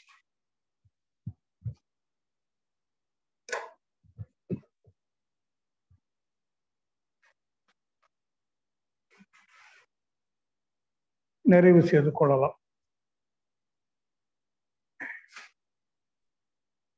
வாழ்க வளம் ஐயா. வாழ்க வளம். மிக்க நன்றி மிக்க நன்றி ஐயா. வாழ்க வளமுடன் நண்பர்களே. மிக ஒரு அற்புதமான ஒரு சிந்தனை உரை. அதை தொடர்ந்து ஒரு மிக ஒரு உணர்வுபூர்வமான ஒரு தியானம். நாம் இது வரைக்கும் இந்த மாதிரி எல்லாம் செய்திருக்க மாட்டோம். அப்ப அதுல எவ்வளவு ஒரு சக்தி ஓட்டம் நமக்கு கிடைச்சது அப்படிங்கிறத நீங்க எல்லாருமே உணர்ந்திருப்பீங்கன்னு நம்புறோம். அதே போல தத்துவத்திலையும் மிக ஆழமான தத்துவங்கள் நிறைய இருக்கு. அது எல்லாவற்றையும் நம்ம ஆன்லைன்ல கொடுத்துட முடியாது உண்மைதான். அது ஐயா அவர்களுடைய அந்த நேரடி வகுப்பிற்கு நாம் சென்று அந்த தத்துவங்களை பெற்று சிந்தித்து உணர்தலுக்கு வரணும். இருந்தாலும் ஐயா அவங்க முடிந்த வரைக்கும் எந்த அளவிற்கு இந்த தத்துவத்தை கொடுக்க முடியுமோ அந்த அளவிற்கு கொடுத்திருக்கிறாங்க. அதை நாம் எவ்வளவு பெற்றிருக்கிறோம் என்பதை விட எவ்வளவு செயல்படுத்தி இருக்கிறோம் அப்படிங்கிறது தான் ஐயா திரும்ப திரும்ப உரைகள்ல வலியுறுத்தி கொண்டே வருகிறார்கள். அதனால் நாம் பெற்ற சிந்தனைகளின்படி வாழ்வதுதான் நம் வாழ்க்கைக்கு உயர்வு என்பதை இந்த இடத்திலே நாம் உணர்ந்து நம் வாழ்வை செம்மைப்படுத்திக் கொள்வோம் என்று கூறி ஐயா அவங்களை வாழ்த்திட்டு கேள்வி பதிலுக்கு செல்லலாம். ஒரு அறிவிப்பு மதன். ஐயா சொல்லுங்க ஐயா. ஒன்றும் இல்லை சிம்பிள் தான். அடுத்த வாரம் சரி. வெள்ளி சனி ஞாயிறு. சரிங்க. குற்றாலத்துல வகுப்பு இருக்கு. சரி ஆனா அங்க பெருசா இடம் இல்லை. ஏன்னா அது ஒரு சின்ன இடம் தான் ஒரு அறுபது பேர் அதுல நாற்பது பேர் மேல பதிவு பண்ணிட்டாங்க. ரொம்ப விருப்பம் உள்ளவங்க ஒரு ஏழு எட்டு பேர் வரலாம். நீங்களும் வரதா இருந்தா வாங்க சொல்லணும்னு நினைச்சேன் கொஞ்சம் விடுபட்டு போச்சு. அது ராமகிருஷ்ணா நீங்க வந்திருக்கீங்களா முன்னாடி? நான் இது வரைக்கும் வந்தது இல்லைங்கய்யா முடிஞ்சா வாங்க. ராமகிருஷ்ணா தபோவனம். ஓகே ஓகேங்கய்யா ஓகேங்க தங்குறதுக்கெல்லாம் உள்ளுக்கு வந்து ரொம்ப சிறப்பா இடம் இருக்காது ஓரளவுக்கு இருக்கும்.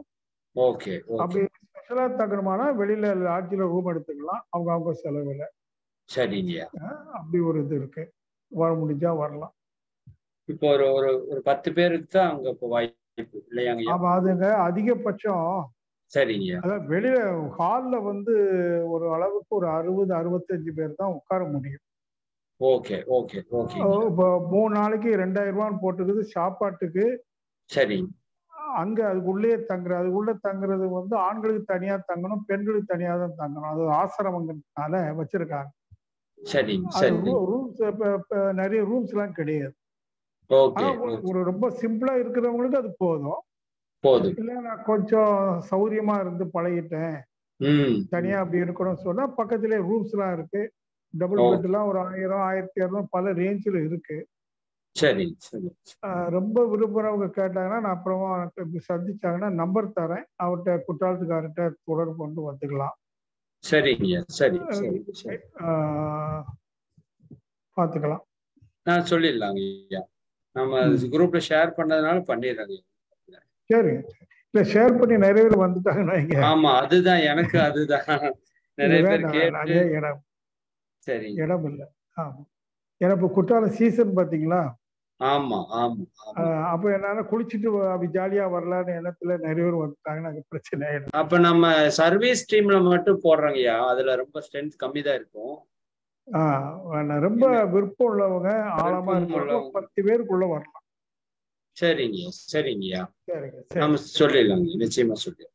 வாழ்க. ஓகே. வாழ்க்கை ஐயா அவங்களை வாழ்த்திடுவோம். எல்லாரும் தியான நிலைக்கு வந்துடலாம்.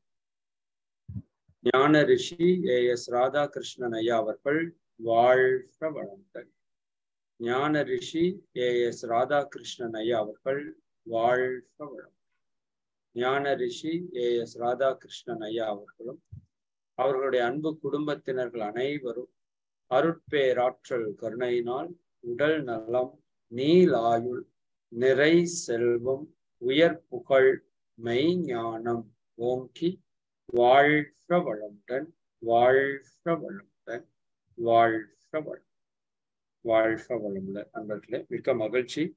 நாளை காலை ஐந்து மணிக்கு சர்வ வசிய தன ஆகர்ஷண சங்கல்பம் நடைபெறும். மற்ற நிகழ்வுகள் எல்லாமே எப்பொழுதும் போல தொடர்ந்து நடைபெறும். கேள்விகள் ஏதாவது இருந்தால் அன்பர்கள் இப்போ நீங்க கேட்டு தெளிவு பெறலாம்.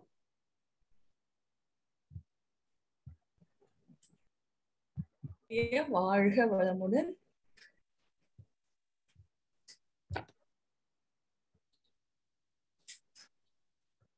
முதலா முத- முதலாக ரவிசங்கர் ஐயா அவர்கள்.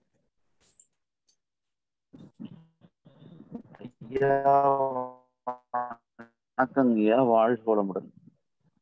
ஐயா. சொல்ல போனா இந்த உடம்பு விட்டுட்டு வாழ்க வளமுடன், ஐயா.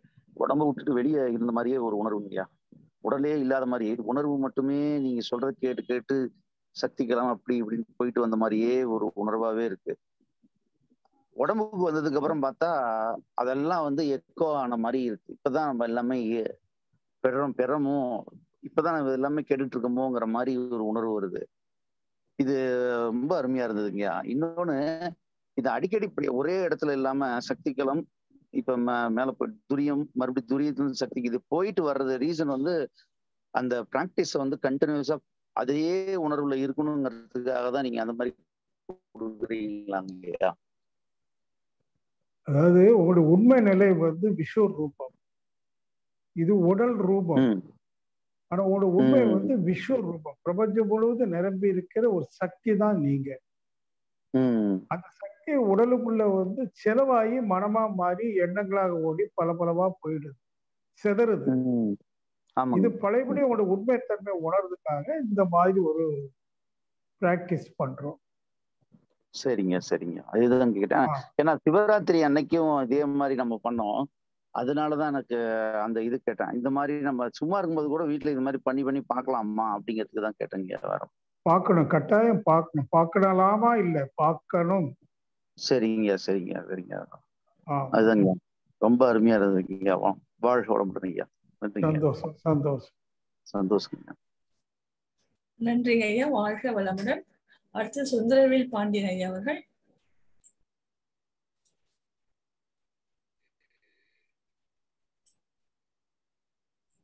வாழ்க வளமுடன். சுந்தரவேல் பாண்டியன் ஐயா அவர்கள் மறுபடியும் பேசுங்க ஐயா. ஐயா மைக் ஓப்பன்ல இருக்குங்க ஐயா? பேசுங்க. ஆமா. நன்றிங்கம்மா நன்றிங்கம்மா. வாழ்க வளமுடன் ஐயா. வாழ்க வளமுடன். மிக உயர்ந்த கருத்துக்கள். அஹ் ரொம்ப எளிமையா புரியுற எங்க கருத்துக்களை எங்களுக்குள்ள விதைச்சிருக்கீங்க சாந்தி முகூர்த்தத்துக்கான அர்த்தம். காமம் முடிந்த பின் தான் வந்து அந்த காதல் வரும் அப்படின்றதுக்காக முன்னாடி நம்மளோட முன்னோர்கள் எந்த அளவுக்கு அதை வந்து உணர்ந்து அதை சாந்தி முகூர்த்தம் பேர் வச்சிருக்காங்கன்னு சொன்னது தெரியும். அப்புறம் ஒவ்வொரு குரல்கள் வழியாக மலர்மிசை ஏகினான் மானடி சேர்ந்தார். மலர் வந்து அதோட இயல்ப அது வெளிப்படுத்திக்கிறது. அதுக்கான சக்தியை வெளிப்படுத்தி அதுல இருந்து மனத்தை கொடுத்துட்டு போகுது. மனிதனா இருக்க நீ உன்னோட இருதய மலரை எப்ப நீ மலர வைக்க போற? உன்னோட சக்தியை நீ எப்படி உலகத்துக்கு கொடுக்க போறன்னு ஓ ஆழ்ந்து தொட்டு உள்ள உணர்த்திருக்கீங்க. ரொம்ப ஆழமான தத்துவங்கள் தான். இதே நீ எளிதான தத்துவங்கள் சொல்றீங்க. இன்னும் ஆழமான தத்துவங்கள் இன்னும் உங்களுக்குள்ள இன்னும் எவ்வளவு இருக்கோ அதை எல்லாமே நாங்களும் கேட்டு இந்த மானுட மேம்படுற மேம்படுறதுக்கு நாங்களும் ஒரு கருவியா இருந்து இயங்கணுன்றது எங்களோட அவாங்கய்யா அதுக்கு உங்களோட ஆசைகளும் இறையோட ஆசைகளும் துணை இருக்கட்டும். ரெண்டே ரெண்டு கேள்விங்கய்யா இப்ப. நம்ம முன்னோர்கள் வந்து எப்படி வந்து அந்த சூரியனுக்கும் பூமிக்கும் எவ்வளவு தூரம் அப்படின்றத எந்த நிலையில இருந்து கண்டுபிடிச்சாங்கன்னு தெரியலங்கய்யா அது கலர்ஸ் உறுப்புகளோட சம்பந்தப்பட்டது. அது எல்லாமே வந்து சொல்லியிருக்காங்க நம்ம ஐயா பஞ்சபூத நவகிரக தவத்துல ஸோ இந்த பஞ்சபூதத்தில் மறைந்து கிடக்கும் சக்திகள் சொல்லும்போது சில விளக்கம் கிடைக்குமோன்னு நினைச்சேன். எனக்கு இன்னும் அதுல தெளிவு வரலங்கய்யா அப்புறம் வந்து சரிங்கய்யா அப்புறம் வந்து நம்மளோட ஆஹ், முனிவர்கள் அந்த இருந்தவங்க எல்லாமே நம்ம இதுக்கு போகும்போது அவங்க மனைவியரோட போய் இருந்திருக்காங்க. நம்ம ஐயாவும் அதுதான் வலியுறுத்திருக்காங்க. இல்லறத்துல இருந்து தான் தொண்டாற்றணும். ஆனாலும் சில பேர் வந்து உதாரணமா ராகவேந்திர ஐயா இவங்கெல்லாம் வந்து ஏன் இல்லறத்தை திறந்துட்டு போய் தொண்டாற்ற போனாங்க? நம்ம ஐயா கூட ஒரு சிறிது காலம் வந்து மனைவியிடமிருந்து பிரிந்து தான் வந்து தொண்டாற்றுறதுக்கு வந்தாங்க. அதுல ஏதாவது தொந்தரவு இருக்கும்ன்றதுக்காக அந்த மாதிரி வந்தாங்களாங்க ஐயா? அந்த ஒரு அதெல்லாம் கேள்வியா கேட்க வேண்டாம் விட்டுருங்க. நீங்க உங்க சரிங்க. வீட்டுக்காரம்மா விட்டு எங்கேயும் போயிடாது சரிங்க. நிச்சயமாங்க. நன்றிங்க நன்றிங்க. இதுதான் உங்களோட என்னோட முதல் ஆஹ், ஆஹ், உங்களோட இதை கேட்கறதுங்க. மதனையாவது நிறைய கேட்டுட்டே இருக்கேன். இன்னைக்கு அந்த வாய்ப்பு கிடைச்சது.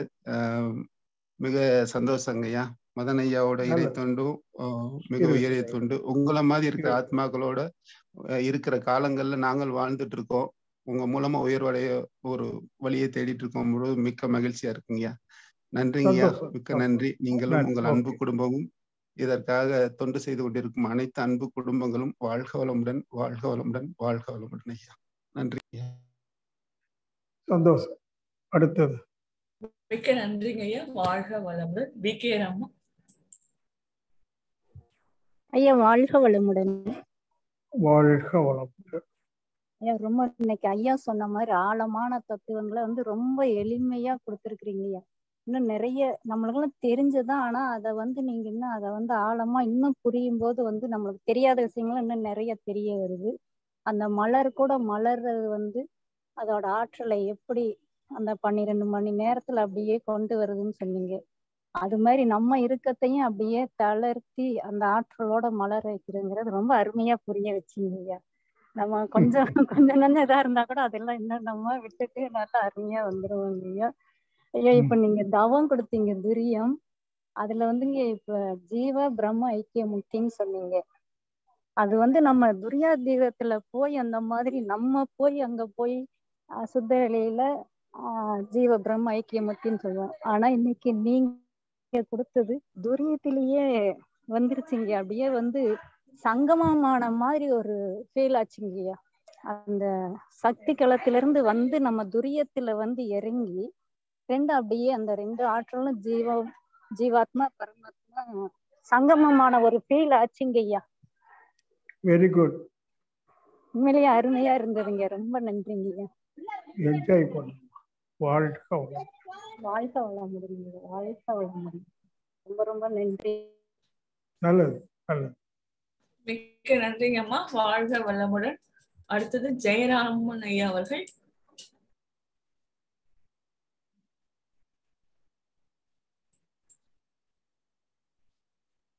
வாழ்க வளமுடன். ஹலோ வாழ்க வளமுடன். வாழ்க வளமுடன். வணக்கம் ஐயா. வணக்கம் ஐயா. இதுதான் நான் முதல் தடவை நான் உங்களோட நான் பேசுறேன். ரொம்ப சந்தோஷமா இருக்கு எனக்கு. அஹ் இப்போ ஹம்,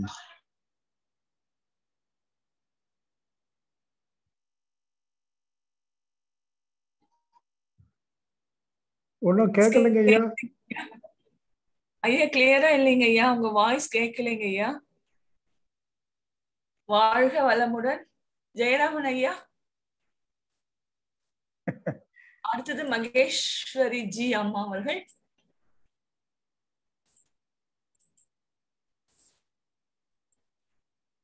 வாழ்க வளமுடன். வாழ்க வளமுடன் அம்மா. ஐயா வாழ்க வளமுடன். ஐயா அருளால உங்களுடைய ஸ்பீச்சை கேட்கறதுக்கு எங்களுக்கு ஒரு வாய்ப்பு கிடைச்சது. ரொம்ப. நன்றிங்க ஐயா. ரொம்ப ரொம்ப ஃபீல் ஆகி நல்ல தவம் கிடைச்சது. ரொம்ப அவங்க சொன்ன மாதிரி நல்ல ஒரு முக்தி நிலைக்கு போன மாதிரி இருந்தது. நல்ல ஒரு. ஃபீல் ஆச்சு. ரொம்ப சந்தோஷமா இருந்தது. ரிஷிகேஷ் அடுத்தாக்குல போறதா இருந்தா கொஞ்சம் சொல்லுங்க ஐயா. நாங்க கண்டிப்பா வர வேண்டியது இருக்கு. வாழ்க்கையில அந்த ஒரு நிலையை அடையணும். ஆமா விளம்பரம் வந்துட்டு இருக்கே உங்க இறை சாதனையில நேற்று கூட போட்டாரு. கவனிக்கலையா நீங்க? நான் அப்போ கவனிக்கல கண்டிப்பா உடனே வாட்ஸ்அப் எடுத்து பாருங்க. ஓகே ஐயா. நீங்க வருதாரத்துல சீக்கிரமா புக் பண்ணுங்க ஏன்னா இருபத்தி நாலாம் தேதி ட்ரெயின் டிக்கெட் புக் பண்ணணும். ஓ அப்படியா ஐயா? சரியா கண்டிப்பா நான் பண்ணிடுறேன். எனக்கு எனக்கு இறை சாதனை மூலியமா கண்டிப்பா நான் வரணும் ஐயா. இன்னைக்கு அது அது உங்க மூலியமா தான் தெரிஞ்சிருக்கு. அது கண்டிப்பா எனக்கு கண்டிப்பா அந்த இடத்துக்கு நான் வரணும். உங்க கூட இருந்து நான் தவம் பண்ணணும் ஐயா. ரொம்ப நன்றி ஐயா. ரொம்ப நன்றி. வாழ்க வளமுடன். வாழ்க வளமுடன். வாழ்க வளம் நன்றிங்க அம்மா. வாழ்க வளமுடன். அடுத்ததாக அருள்நிதி விஜயகுமாரி அம்மா அவர்கள். ஐயா வாழ்க வளமுடன். வாழ்க வளம் ஐயா தவா ரொம்ப உணர்வு பூர்வமா நல்லா இருந்துச்சு ஐயா. அதுக்கு நன்றி. எனக்கு என்ன ஒன் ஒன் மந்தா வந்து காலையில எழும்புது கனவா வந்துட்டு என்னால நல்லா தூங்கி எழு ஃப்ரெஷ்ஷா எழு எழுந்துக்கவே முடிய மாட்டேங்குது. ஆறு மணி ஏழு மணி ஆனாலும் படுத்துட்டே இருக்கணும் போல இருக்கு. அப்படி எ- எழுற மாதிரியே ஃபீல் ஆகுது. அதுக்கு அதுல இருந்து எப்படி வெளியே வருதுன்னே எனக்கு தெரிய மாட்டேங்குதுயா உங்க எனர்ஜி லெவல் எப்படி இருக்குன்னு பாருங்க. ஹியூமோகுளோபின் எப்படி இருக்குன்னு பாருங்க. பிளட்ல ஹியூமோகுளோபின் ஒரு இது உண்டு. அது குறைவா இருந்தா எப்பவுமே சோர்வா இருக்கும். அதை ஒன்று செக் பண்ணுங்க. அது மாதிரி நார்மலா இருக்கு. நார்மலா இருக்குயா?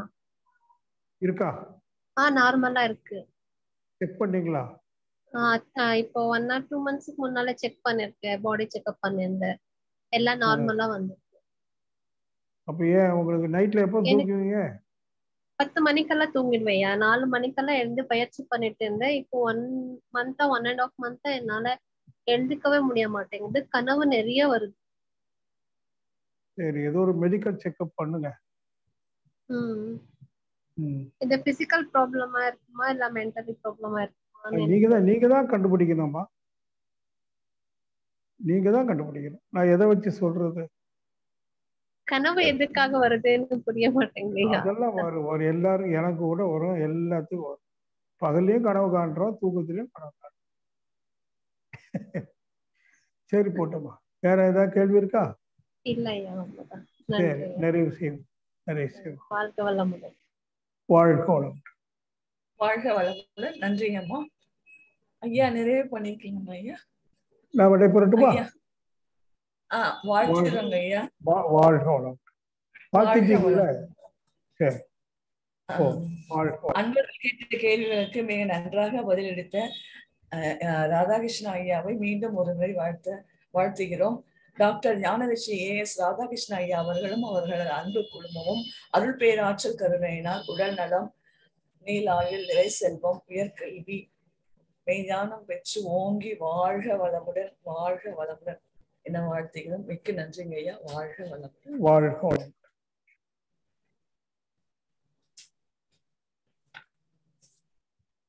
அடுத்து வேதாத்திரை பாடல் பாட விரும்பும் அன்பர்கள் ஹேண்ட் ரைஸ் ஜமுனா ராணி அம்மா அவர்கள்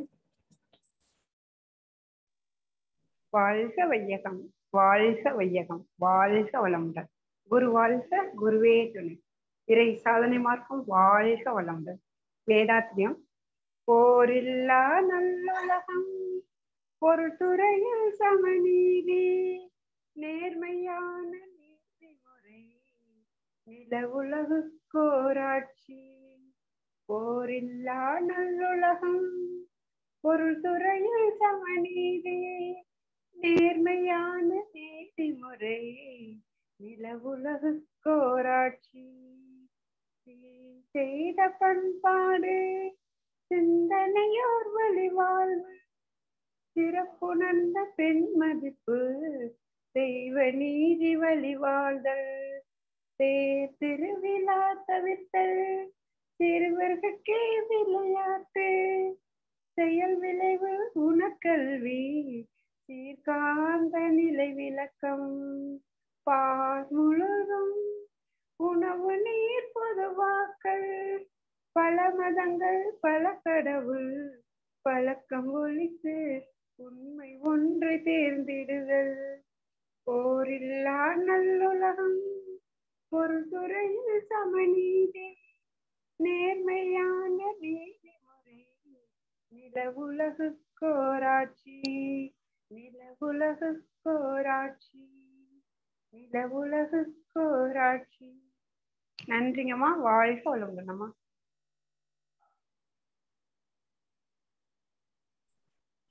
நன்றிங்கம்மா. வாழ்க வளமுடன். அடுத்து உலக நல வாழ்த்து விவோ ஒன் நைன் டூ ஜீரோ.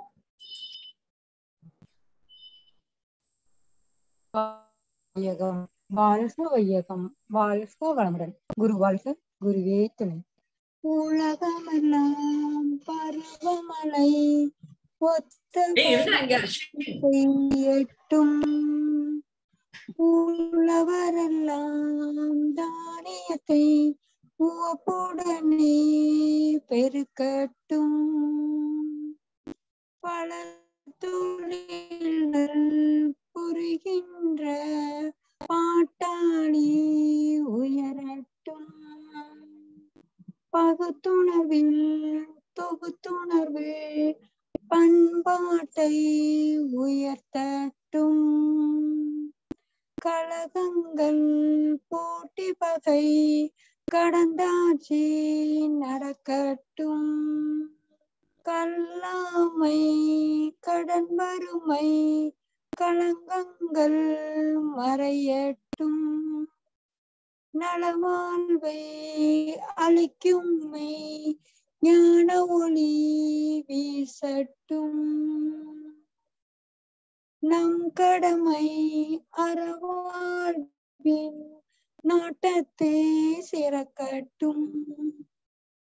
நம் கடமை அறவாழ்வின் நாட்டத்தை சிறக்கட்டும். நம் கடமை அறவாழ்வின் நாட்டத்தே சிறக்கட்டும். வாழ்க வையகம் வாழ்க வையகம் வாழ்க வளமுடன். அமைதி அமைதி அமைதி. நன்றிம்மா வாழ்க வளமுடன். நன்றிங்கம்மா வாழ்க வளமுடன். மிக்க நன்றிங்கம்மா. வாழ்க வளமுடன். அனைவருக்கும் நன்றி. இத்துடன் இந்த நிகழ்வு முடிவடைகிறது. அடுத்த நிகழ்வாக எட்டரை மணிக்கு தசோத நிகழ்வில் கலந்து கொண்டு ஆன்மீக தூய்மை பெறுவோம் அன்பர்களே. வாழ்க வளமுடன் வாழ்க வளமுடன் வாழ்க வளமுடன்.